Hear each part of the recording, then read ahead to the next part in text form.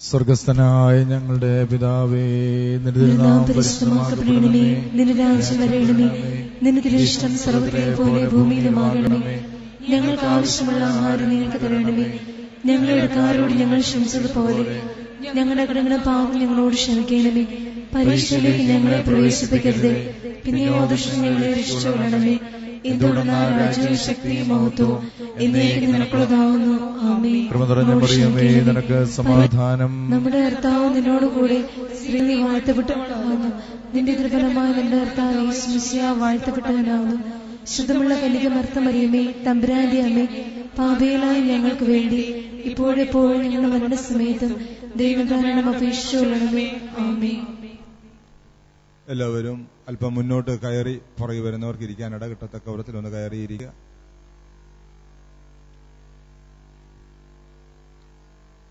ത്രിയേക ദൈവത്തിന് സ്തുതി അഭിമന്യ തിരുമേനി ബഹുമാനപ്പെട്ട ഷമാശ കർത്താവായ യേശുമിശിയ സ്നേഹിക്കപ്പെട്ടിരിക്കുന്ന പ്രിയ വിശ്വാസികളെ ദൈവത്തിന്റെ അളവറ്റ കാരുണ്യത്താൽ ഈ മാസത്തെ നമ്മുടെ ഈ സായാഹ്ന ധ്യാനം ഈ മാസത്തിന്റെ അവസാന ഭാഗത്ത് ആണെങ്കിലും ക്രമീകരിക്കാനായിട്ട് സാധിച്ച് നമുക്ക് ദൈവത്തെ സ്തുതിക്കുന്നു. താമസിച്ചതിന്റെ കാരണം അഭിമന്യ തിരുമനസ്സുകൊണ്ട് എട്ട് നോമ്പിനെ തുടർന്ന് എട്ട് നോമ്പിനോടനുബന്ധിച്ച് ഉള്ള നമ്മുടെ വിദേശ രാജ്യത്തുള്ള നമ്മുടെ ജനങ്ങളെ ഇടവ് സന്ദർശിപ്പാനായിട്ട് പോയിരിക്കുകയായിരുന്നു. ഇന്നാണ് തിരുമേനി ഇവിടെ എത്തിച്ചേർന്നത് എന്ന് ഞാൻ മനസ്സിലാക്കുന്നു. സുദീർഘമായ യാത്രയൊക്കെ കഴിഞ്ഞാണ് ഇവിടെ എത്തിയിരിക്കുന്നത്. നമുക്ക് വളരെയധികം ദൈവാനുഗ്രഹം തന്ന ഒരു ശുശ്രൂഷ ധ്യാന ശുശ്രൂഷയാണ് ഇത്. ഒത്തിരി ആളുകൾക്ക് ദൈവത്തിന്റെ സ്നേഹ സ്പർശവും ദൈവികമായ പ്രത്യാശയും ശരണവും ഞങ്ങളുടെ രോഗാവസ്ഥയിലും കഷ്ടപ്പാടിന്റെയും മുറിവുകളുടെയും അവസ്ഥയിൽ ദൈവികമായ പ്രത്യാശയും ആശ്വാസവും. അതോടൊപ്പം പാപത്തിലും പാപജീവിതത്തിലും കഴിഞ്ഞിരിക്കുന്ന ഒത്തിരി ആൾക്കാർക്ക് മദ്യപാനത്തിൽ നിന്നും തിന്മകളിൽ നിന്നുള്ളതായ വിടുതലും ഒക്കെ പ്രാപിപ്പാനായി ദൈവത്തിന്റെ പരിശുദ്ധാത്മാവ് കൃപ ലഭിക്കുകയുണ്ടായി. ഈ ശുശ്രൂഷ അതേ ശക്തിയോടുകൂടെ മുന്നോട്ട് കൊണ്ടുപോകാൻ തക്കവണ്ണം നമുക്ക് പ്രാർത്ഥിക്കാം. അഭിമന്യ തിരുമേനിയെ ഓർത്ത് നമുക്ക് പ്രാർത്ഥിക്കാം. ശുശ്രൂഷകളെ ഓർത്ത് നമുക്ക് പ്രാർത്ഥിക്കാം. ഞാൻ ദീർഘിപ്പിക്കുന്നില്ല. അഭിമന്യ സക്കറിയാസ്മാർ പീലസ്യനോസ് മത്രാപോലത്ത തിരുമനസിന് ധ്യാന ശുശ്രൂഷയ്ക്കായിട്ട് വളരെ സ്നേഹാദരപൂർവം ക്ഷണിച്ചുകൊള്ളുന്നു.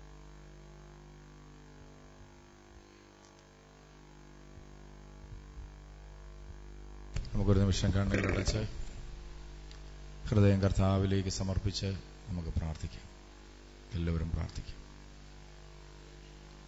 കാരുണ്യവാനായ ദൈവമേ ഈ ദിവസത്തെ ഓർത്ത് ഞങ്ങൾ നിന്നെ സ്തുതിക്കുന്നു. നിന്റെ പരിശുദ്ധാത്മാവിന്റെ ശക്തി ഞങ്ങളിലേക്ക് കടന്നു വരുവാൻ വേണ്ടി ഞങ്ങൾ ആഗ്രഹിക്കുന്നു. അങ്ങയുടെ തിരുമുഖത്തേക്ക് നോക്കിയാണല്ലോ ഈ മക്കളെല്ലാം ഈ ദേവാലയത്തിലേക്ക് കടന്നു വന്നിരിക്കുന്നു അങ്ങയുടെ മഹത്വവും അങ്ങയുടെ നന്മയും ദർശിക്കുവാനാണ് ഇവർ ഒന്നിച്ചു കൂടുന്നത് അങ്ങയെക്കുറിച്ചുള്ള അറിവിന്റെ പ്രകാശത്തിൽ വേണം ഇവരുടെ ഹൃദയങ്ങൾ പ്രകാശിക്കേണ്ടത് അതിനായി ഈ മക്കളുടെ എല്ലാം ഹൃദയങ്ങൾ ദൈവവചനത്തിന്റെ വെളിച്ചത്തിൽ പ്രകാശിക്കുവാൻ അങ്ങ് കൃപ നൽകണമേ.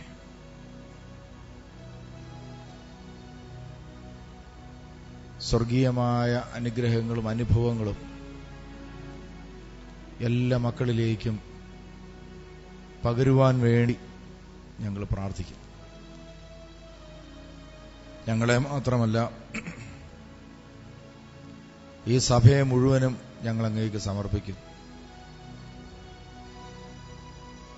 ഈ രാജ്യത്തെ അങ്ങേക്ക് സമർപ്പിച്ച് പ്രാർത്ഥിക്കും.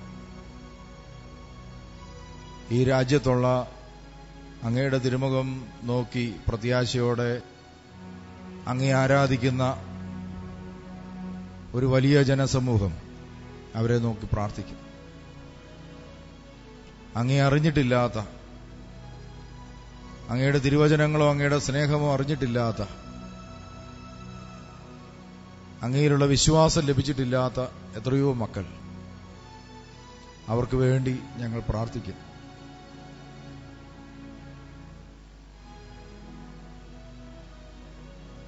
അതുപോലെ ദാരിദ്ര്യവും കഷ്ടപ്പാടും അനുഭവിച്ച് ഈ രാജ്യത്തെ പട്ടിണിയും പരിവട്ടവുമായി കഴിയുന്നവർ വീടില്ലാത്തവർ അനാഥർ വിധവകൾ എന്നിവർക്ക് വേണ്ടി പ്രാർത്ഥിക്കുന്നു.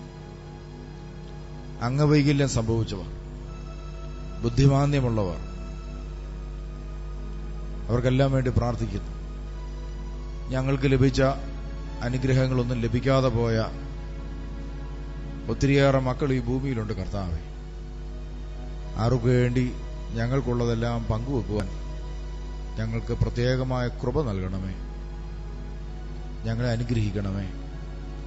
ഞങ്ങളുടെ മനസ്സ് കൂടുതൽ വിശാലമാക്കി തീർക്കാൻ വേണ്ടി ഞങ്ങൾ പ്രാർത്ഥിക്കുന്നു. ഞങ്ങളുടെ ജീവിതം കൂടുതൽ എളിമപ്പെട്ടതായി തീരാൻ വേണ്ടി ഞങ്ങൾ പ്രാർത്ഥിക്കുന്നു. ഞങ്ങളുടെ ജീവിതം കൂടുതൽ സുഹൃതങ്ങൾ നിറഞ്ഞ ജീവിതമായി തീരുവാൻ വേണ്ടി ഞങ്ങൾ പ്രാർത്ഥിക്കുന്നു.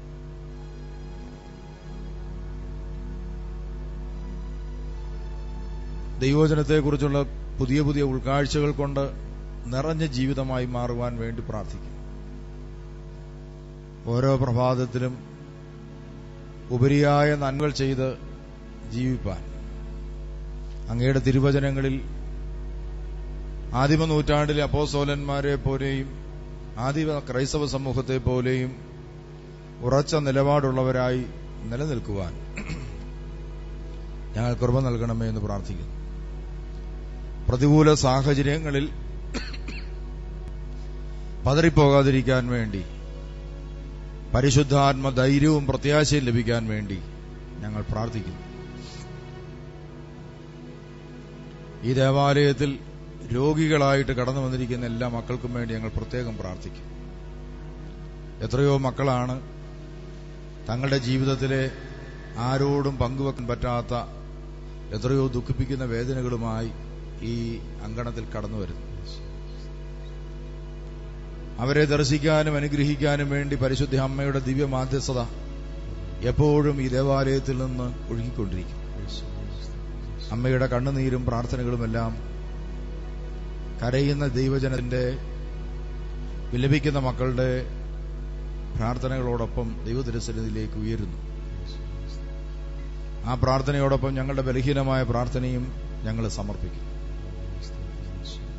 പരിശുദ്ധി അമ്മേ ഈ മൂന്ന് ദിവസമായിട്ട് നടക്കുന്ന സായാഹ്ന ധ്യാനത്തെ അമ്മ ഏറ്റെടുക്കണം. അമ്മയുടെ ദിവ്യമായ മാധ്യസ്ഥത ഈ മൂന്ന് ദിവസവും പറന്നിറങ്ങി വരുവാൻ വേണ്ടി പ്രത്യേകം പ്രാർത്ഥിക്കുന്നു. ഈ ദേവാലയത്തിന്റെ മദ്ബഹായിൽ നിന്ന് ദൈവത്തിന്റെ കൃപ ഈ ധ്യാനത്തിൽ കണ്ണുനീരോടെ പ്രാർത്ഥിക്കുന്ന ദൈവമക്കളുടെ മേൽ ഒഴുകിയിറങ്ങാൻ വേണ്ടി പ്രാർത്ഥിക്കുന്നു. ഈ ജനത്തെ അനുഗ്രഹിക്കാൻ ദൈവമേ നീ ഇറങ്ങി വരുമ്പോൾ ബലഹീനനും ഭാവിയുമായി എന്നെയും ഓർക്കണമേ. എന്റെ എല്ലാ ബലഹീനതകളോടും കുറവുകളോടും നീ കരുണയുള്ളവനായിരിക്കണമേ. ഇന്നുവരെ ഈ കഴിഞ്ഞ ഒരു വർഷക്കാലം ഈ ദേവാലയത്തിൽ തിരുവചന ശുശ്രൂഷ നടത്തുവാൻ പ്രത്യേകമായ കൃപ വർഷിച്ചതിനെ ഓർ നന്ദി പറയും. അതിനായി ക്രമീകരണം ചെയ്യുന്ന എല്ലാ ബഹുമാനപ്പെട്ട വൈദികരെ ഓർത്ത് പ്രാർത്ഥിക്കുന്നു എല്ലാ മേൽപ്പെട്ടക്കാരെ ഓർത്ത് പ്രാർത്ഥിക്കുന്നു. സഭയിലെ എല്ലാ ദൈവമക്കളെയും തിരുസന്നിധിയിൽ സമർപ്പിച്ചുകൊണ്ട് പ്രാർത്ഥിക്കുന്നു ക്രൈസ്തവ സമൂഹത്തെ ഓർത്ത് പ്രാർത്ഥിക്കും. സ്നേഹത്തിന്റെയും ഐക്യത്തിന്റെയും നല്ല മാർഗങ്ങളിൽ കൂടി നീങ്ങുവാൻ ദൈവമേ ഞങ്ങൾക്ക് എല്ലാവർക്കും കൃപ നൽകണമെന്ന് പ്രാർത്ഥിക്കും. ആയത് ദൈവമാതാവ് പരിശുദ്ധ കന്യമറിയാമിന്റെയും സകല പരിശുദ്ധന്മാരുടെയും പ്രാർത്ഥനയാൽ തന്നെ. ത്രിയേക ദൈവനാമത്തിന് മഹത്വമുണ്ടായിരിക്കട്ടെ. ഏറെ ബഹുമാനപ്പെട്ട പണവത്തച്ഛൻ മറ്റ് വൈദിക ശ്രേഷ്ഠരെ ശമ്മാശൻ വിശ്വാസികളുടെ സമൂഹമേ. അനുഗ്രഹിക്കപ്പെട്ട ഒരു സായാഹ്ന ധ്യാനത്തിലേക്ക് കൂടി ദൈവം നമ്മെ വിളിച്ച് കൂട്ടിക്കൊണ്ടുവന്നിരിക്കുകയാണ് ഓരോ സായാഹ്ന ധ്യാനങ്ങളിലൂടെയും ദൈവം അനവധിയായ അനുഗ്രഹങ്ങൾ അർഹതയുള്ള മനുഷ്യന്റെ ജീവിതത്തിലേക്ക് നൽകിക്കൊണ്ടിരിക്കുന്നു. അതുകൊണ്ട് നമ്മുടെ വ്യക്തിഗത ജീവിതം ദൈവകൃപ നിറയുന്ന അനുഗ്രഹമുള്ള ഒരു ജീവിതമായി തീരുവാൻ എന്തു ചെയ്യണമെന്ന തിരുവചനത്തിന്റെ വെളിച്ചത്തിൽ നാം ഓരോ ധ്യാനങ്ങളിലും ചിന്തിച്ചുകൊണ്ടിരിക്കുക. അതിന്റെ അടിസ്ഥാനത്തിൽ ആരാണോ ദൈവവചനം സ്വീകരിക്കുന്നത് അവർക്കാണ് ദൈവാനുഗ്രഹം ലഭിക്കുന്നത്. നമുക്കറിയാം ദൈവവചനം കേൾക്കാൻ പറ്റും ദൈവവചനം പഠിക്കാൻ പറ്റും ദൈവവചനം വായിക്കാൻ പറ്റും. ദൈവവചനം ധ്യാനിക്കാനും പറ്റും. ദൈവവചനം പ്രസംഗിക്കാനും പറ്റും. ഇതുകൊണ്ടൊന്നും കാര്യമായ പ്രയോജനമൊന്നുമില്ല. ഒറ്റ കാര്യം കൊണ്ട് മാത്രമേ പ്രയോജനമുള്ളൂ. എന്താണ്? ദൈവവചനം സ്വീകരിക്കുക. ഞാൻ ഈ ആദ്യം പറഞ്ഞ കാര്യങ്ങളെല്ലാം നൂറ്റാണ്ടുകളായിട്ട് നടന്നുകൊണ്ടിരിക്കുന്ന കാര്യമാണ്. കേരളം ഒട്ടുക്ക് നടക്കുന്ന കാര്യങ്ങളാണ്. എന്നാൽ ഞാനും ചെയ്തുകൊണ്ടിരിക്കുന്ന കാര്യങ്ങളാണ്. എന്നാൽ അതുകൊണ്ടൊന്നും പ്രയോജനം ഉണ്ടാകുകയില്ല. എന്താണ് പ്രയോജനം ഉണ്ടാക്കുന്ന ഒറ്റ കാര്യം മാത്രമേ ഉള്ളൂ. നീ ദൈവവചനം സ്വീകരിക്കുക. എന്ന് പറഞ്ഞാൽ അതിനകത്ത് ഞാനും കൂടി ഉൾപ്പെടും. ഞാനും നിങ്ങളും ദൈവവചനം സ്വീകരിക്കുക. സ്വീകരിക്കുന്നവന് അനുഗ്രഹം. അതുകൊണ്ടാണല്ലോ പരിശുദ്ധ അമ്മയുടെ അടുക്കൽ തമ്പുരാൻ എത്തി. എത്രയോ മനുഷ്യരുടെ അടുക്കൽ തമ്പുരാൻ ദൈവത്തിന്റെ വചനങ്ങൾ പറഞ്ഞിട്ടുണ്ട്. പഴയ നിയമത്തിലും പുതിയ നിയമത്തിലും ദൈവം പ്രചോദിപ്പിക്കുന്ന എത്രയോ മനുഷ്യർ. എന്നാൽ പരിശുദ്ധ അമ്മയുടെ അടുക്കൽ വന്ന് ദൈവോചനം പറഞ്ഞപ്പോൾ ആ മാതാവ് എന്താ പറഞ്ഞത്? ഇതാ ദാസി. നീ പറയുന്നത് എങ്ങനെയാണോ അങ്ങനെ കാര്യങ്ങൾ നടക്കട്ടെ എന്ന് പറഞ്ഞുകൊണ്ട് സ്വന്തം ജീവിതത്തെ ആ തിരുവചന ജീവിതത്തിന് വേണ്ടി വഴക്കിക്കൊടുത്തു അഥവാ വിട്ടുകൊടുത്തു.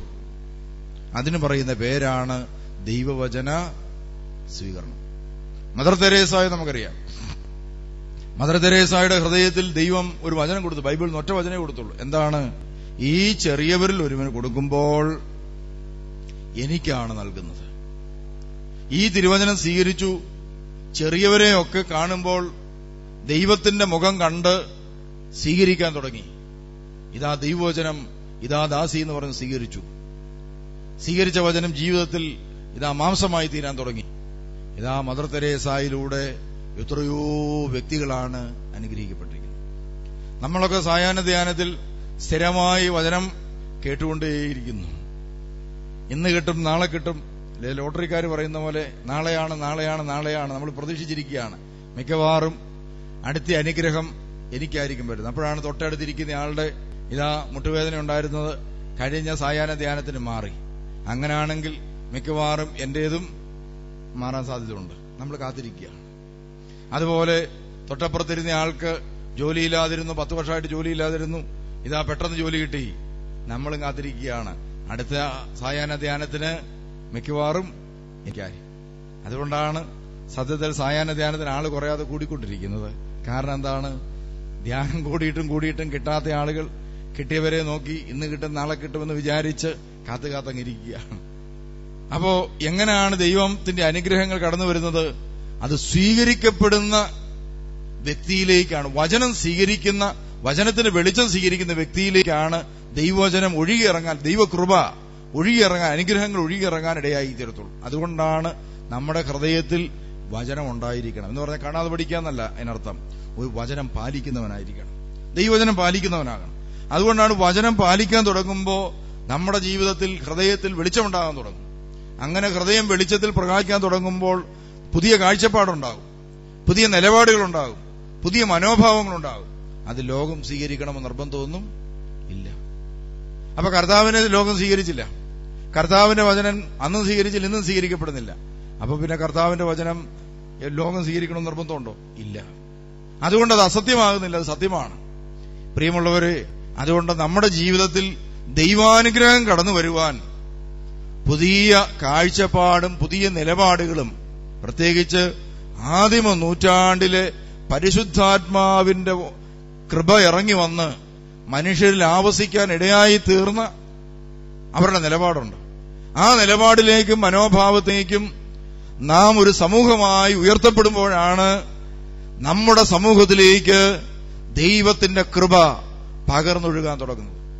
അതുകൊണ്ട് കൃപയുടെ കവാടം ഒരു വ്യക്തിയുടെ ജീവിതത്തിൽ ഒരു കുടുംബത്തിന്റെ ജീവിതത്തിൽ അല്ലെങ്കിൽ ഒരു സമൂഹ ജീവിതത്തിൽ ഒരു ഇടവക ജീവിതത്തിൽ അടഞ്ഞു പോകുന്നത് ദൈവവചനത്തോട് അവർ തിരസ്കരണം കാണിക്കുമ്പോഴാണ്. അഥവാ അറിഞ്ഞിട്ടും കേട്ടിട്ടും ആ വചനങ്ങളെ അവഗണിക്കുകയും അതെനിക്കുള്ള വചനമല്ല. എന്റെ ഇഷ്ടത്തിനനുസരിച്ച് കാര്യങ്ങൾ പോട്ടെ എന്റെ നിലപാടനുസരിച്ച് പോകട്ടെ എന്ന് ചിന്തിച്ചുകൊണ്ട് നാം മർക്കടമുഷിക്കാരും അഹങ്കാരികളുമായി തീരുമ്പോൾ പ്രിയമുള്ളവരെ ദൈവത്തിന്റെ കൃപ ആ വ്യക്തിയിലേക്ക് അടഞ്ഞു. ആ വ്യക്തിക്ക് ദൈവകൃപ കിട്ടിയില്ലെങ്കിൽ അവന്റെ മക്കൾക്കും ഉണ്ടാവുകയില്ല. അതുകൊണ്ട് അവന്റെ തലമുറ തലമുറയായി ദൈവകൃപ അടഞ്ഞു പോകാനിടയായി ചുരുക്കി പറഞ്ഞാൽ നമ്മളെയൊക്കെ ദൈവം ഈ ഭൂമിയിലേക്ക് ആക്കിയിരിക്കുന്നത് വരാനിരിക്കുന്ന ഒരു ഒരു തലമുറയ്ക്ക് വേണ്ടി ഒരു വാതിലായിട്ടാണ് കൃപയുടെ വാതിലായിട്ടാണ്. നാം ഓരോരുത്തരും ദൈവവചനം സ്വീകരിക്കാതെ തിരുവചനത്തോട് അവിശ്വസ്തരാകാൻ തുടങ്ങുമ്പോൾ നമ്മുടെ അനുഗ്രഹങ്ങൾ മാത്രമല്ല നമ്മളിലൂടെ ലഭിക്കാനിരിക്കുന്ന തലമുറയുടെ അനുഗ്രഹങ്ങൾ കൂടി അടഞ്ഞു പോകാനിടയായിത്തീരും. ഞാൻ ഈ കഴിഞ്ഞ നാളുകളിലെല്ലാം വിദേശ രാജ്യങ്ങളിലായിരുന്നു. കഴിഞ്ഞ ഓഗസ്റ്റ് ഇരുപത്തിയെട്ട് മുതൽ ഇന്നലെ വരെയും ഇന്നലെ രാവിലെ വരെ വിദേശ രാജ്യത്തുള്ള വിവിധ ദേവാലയങ്ങളിൽ ശുശ്രൂഷിക്കുക. അതിൽ ഒരൊറ്റ ദേവാലയം പോലും ഞാൻ ശുശ്രൂഷിച്ചത് സുറിയാനി സഭയുടെ സ്വന്തം ദേവാലയങ്ങളല്ല. എല്ലാ ദേവാലയങ്ങളും ആംഗ്ലിക്കൻ ചർച്ചിന്റെയോ അല്ലെങ്കിൽ മറ്റ് കാത്തലിക് ചർച്ചിന്റെയോ ദേവാലയങ്ങളാണെല്ലാം. അത് ഇത്തരം ദേവാലയങ്ങളൊന്നുമല്ല. പടുകൂറ്റൻ ദേവാലയങ്ങളാണ് മിക്കവാറും ദേവാലയങ്ങളൊക്കെ.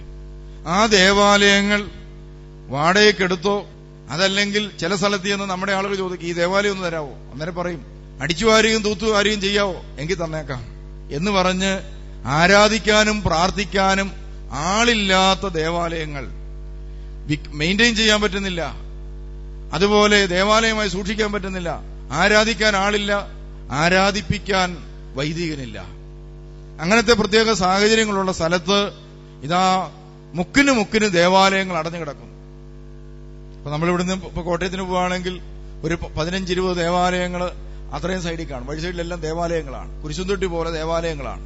പക്ഷേ അതിന്റെ അർത്ഥം എന്താണ്? ഒരു കാലത്ത് വിശ്വാസികൾ കൂട്ടം കൂട്ടമായി ദേവാലയത്തിൽ പോയിരുന്നു. അപ്പൊ ഇപ്പം ആ ദേവാലയങ്ങൾ അടഞ്ഞുകൊണ്ടിരിക്കാൻ കാരണം എന്താണ്? വിശ്വാസികളിൽ നിന്ന് വിശ്വാസം കൂട്ടം കൂട്ടമായി നഷ്ടപ്പെട്ടു. കാരണം എന്താണ് ദൈവവചനം ദൈവവചനത്തോട് വിശ്വസ്തരാകുന്നതിന് പകരം പാശ്ചാത്യ സംസ്കാരത്തിന്റെ സുഖഭോഗങ്ങളിൽ മുഴുകിയ മാതാപിതാക്കന്മാർ വഴി ജനിച്ച മക്കൾക്ക് വിശ്വാസം എന്ന് പറയുന്ന ഒരു വാതിൽ പോലും ഇല്ല. വിശ്വാസം എന്ന് പറയുന്ന ഒരു വാതിൽ പോലും തുറക്കപ്പെട്ടിട്ടില്ല. അതുകൊണ്ട് യേശുക്രിസ്തു ദൈവം എന്നൊക്കെ പറയുന്ന അവർക്ക് എന്താണ് ഒരു തമാശ. ക്രിസ്മസ് എന്നൊക്കെ പറയുന്ന എന്താണ്? ഒരു തമാശകളി. എല്ലാ തമാശയും പോലെ നമ്മുടെ ഓണക്കാലത്തെ ഇതാ കടുവാകളി പോലെ ഒരു തമാശയായി മാറിയിരിക്കുന്നു. എല്ലാം തമാശാണ് ഞാനിങ്ങോട്ട് പോരുന്ന സമയത്ത് ഒരു വീട്ടിൽ ചെന്നു അപ്പൊ തൊട്ടടുത്ത വീട്ടിലെല്ലാം അസ്ഥികൂടം പിശാചിന്റെ മുഖം ഇതെല്ലാം കെട്ടിത്തൂക്കിയിട്ടിരിക്കുകയാണ്. അങ്ങനെ കെട്ടിത്തൂക്കിയിട്ടപ്പോ ഞാൻ ചോദിച്ചത് എന്താണ്? അന്നേരം പറഞ്ഞു അതൊരു പ്രത്യേക ദിവസമാണ്. ഹാലോബിൻ അങ്ങനെ കണ്ടൊരു ആഘോഷമാണ് ക്രിസ്മസ് പോലെ. അതെന്താണ്? പിശാജിന്റെ വേഷം ധരിച്ച് കുട്ടികൾ സ്കൂളിൽ പോണമെന്ന് അതുപോലെ ടീച്ചർമാരും പിശാജിന്റെ കൊമ്പൊക്കെ വെച്ചാണെന്ന് വരുന്നത്. വീടുകളിലെല്ലാം ഇത് കെട്ടിത്തൂക്കിയിടണം ക്രിസ്മസിന്റെ സമയത്ത് ഇതുപോലെ. ശവപ്പെട്ടി അസ്ഥികൂടം പിശാജിന്റെ രൂപങ്ങൾ ഇതെല്ലാം വീടുകളിൽ ക്രിസ്മസ് സ്റ്റാർ പോലെ കെട്ടിത്തൂക്കിയിടും. അതിനുവേണ്ടി പ്രത്യേക ഷോറൂമുകൾ തുറക്കാറുണ്ട്. ഷോറൂമൊക്കെ പോയി കാണാനിടയായി തീർന്നു. ഇതാ അവർ പോലും അറിയാതെ ഇതാ സാത്താൻ അവരുടെ ജീവിതത്തിൽ ആരാധിക്കുന്നു. അവരെ അറിഞ്ഞിട്ടും ആരാധിക്കുന്നില്ല. സാത്താൻ ഉണ്ടെന്ന് പോലും അവർക്ക് വിശ്വാസമില്ല. പക്ഷേ അവരറിയാതെ പൈശാചികമായ രൂപങ്ങൾ അവ- അവരുടെ ജീവിതത്തിൽ ആരാധിക്കപ്പെടുകയും ആ വേഷം കെട്ടി അവർ നടക്കുകയും ആടുകയും ചെയ്തുകൊണ്ട് മനുഷ്യരെ പേടിപ്പിക്കുന്നു. അങ്ങനെയൊക്കെ രാത്രിയിൽ പിള്ളേരൊക്കെ ഈ വേഷം കെട്ടി ഇങ്ങനെ പോവാണ് പല വേഷങ്ങളും ഒക്കെ കെട്ടി മുഖത്ത് ചായമൊക്കെ തേച്ച് അവരിങ്ങനെ പോവാണ്. അങ്ങനെ കൂട്ടം കൂട്ടമായിട്ട് പിള്ളേരിങ്ങനെ വഴി കൂടെ പോകുമ്പോഴാണ് ഞാൻ ഇന്നലെ മണർകാട് പള്ളി ഇടവകപ്പെട്ട ഒരാളുടെ വീട്ടിൽ നിന്ന് ഇറങ്ങി വരികയാണ്. അപ്പൊ ഞാനും ഇതുപോലത്തെ വേഷമല്ലോ കറുത്ത വേഷം തലേ തുണി അതൊന്നും അവർക്ക് അസാധ്യമാണ്. അവരോർത്തു അവരെ പോലെ വേഷം കെട്ടിയ ഒരാളാണെന്ന് ഓർത്ത് എന്നെയും കൈവക്കി കാണിച്ചു. മനസ്സിലായില്ല. അപ്പോ എന്താണ് ഏതാണെന്ന് തിരിച്ചറിവില്ലാത്ത ഒരു ജനം വിശ്വാസം നഷ്ടപ്പെട്ട ഒരു ജനം എങ്ങനെ ഉണ്ടായി? വിശ്വാസം നഷ്ടപ്പെടുത്തിയ തിരുവചനത്തെ തിരസ്കരിച്ച മാതാപിതാക്കന്മാരാണ് അതിന് കാരണം. കണ്ടോ? ദൈവത്തിന്റെ തിരുവചനങ്ങൾ തിരസ്കരിച്ച മാതാപിതാക്കന്മാരാണ് ഇതിന് കാരണം. അങ്ങനെയെങ്കിൽ പ്രിയമുള്ളവരെ അടുത്ത തലമുറയിൽ നമ്മുടെയൊക്കെ മക്കൾ ദൈവവിശ്വാസമുള്ളവരായി തീരണമെങ്കിൽ പ്രിയമുള്ളവരെ നമ്മൾ ഓരോരുത്തരും അവർക്ക് വേണ്ടി വിശ്വാസത്തിന്റെ കവാടം തുറക്കാൻ ഇന്നു മുതൽ ദൈവവചനം പാലിക്കുന്നവരായി തീരണം. ഈ നാട്ടിൽ നിന്ന് ഒരച്ഛൻ ഒരു നാട്ടുകാരൻ അച്ഛനാണ്. നമ്മുടെ സഭയിൽപ്പെട്ടതല്ല. അവിടെ ചെന്ന് സുവിശേഷ പ്രഘോഷണം ആരംഭിച്ചു. നമ്മുടെയൊക്കെ ആളുകൾ അവിടെയൊക്കെ ഒന്ന് ചൂടുന്നുണ്ട്. എല്ലാ പള്ളികളും നമ്മുടെയൊക്കെ പള്ളികളിൽ നിന്ന് ഇപ്പോൾ ആളുകൾ പോകുന്നു. കാരണം വിശ്വാസം നഷ്ടപ്പെട്ട് പിള്ളേർ പോകുന്നതിനേക്കാൾ പാശ്ചാത്യ സംസ്കാരത്തിലേക്ക് പോകുന്നതിനേക്കാൾ നല്ലത് ഇങ്ങനെ ധ്യാനങ്ങൾക്ക് പോകുന്നതാണ് നല്ലതെന്ന് മാതാപിതാക്കന്മാർക്ക് തോന്നിയതുകൊണ്ട് കൂട്ടമായി അവർ പോകുന്നു. അങ്ങനെ ഇരിക്കെ ദൈവത്തിന്റെ വചനം അവിടെ പ്രഘോഷിക്കാൻ തുടങ്ങിയപ്പോൾ വിശ്വാസത്തിന്റെ ചൈതന്യം അവിടെ വ്യാപിക്കാൻ തുടങ്ങി.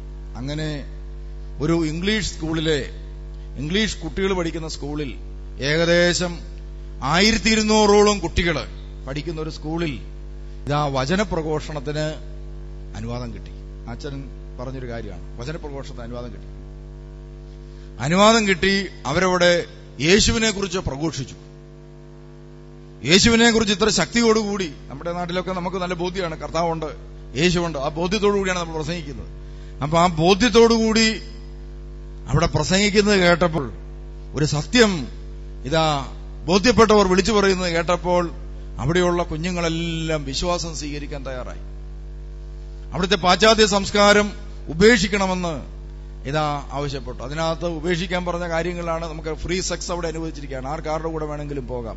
ഉടനെ ബൈബിൾ ഇപ്രകാരം പറയുന്നു എന്ന് പറഞ്ഞുകൊണ്ട് അച്ഛൻ പ്രഘോഷിച്ചപ്പോൾ അവിടുത്തെ അധ്യാപകരെല്ലാം അവിടെ കൂടി.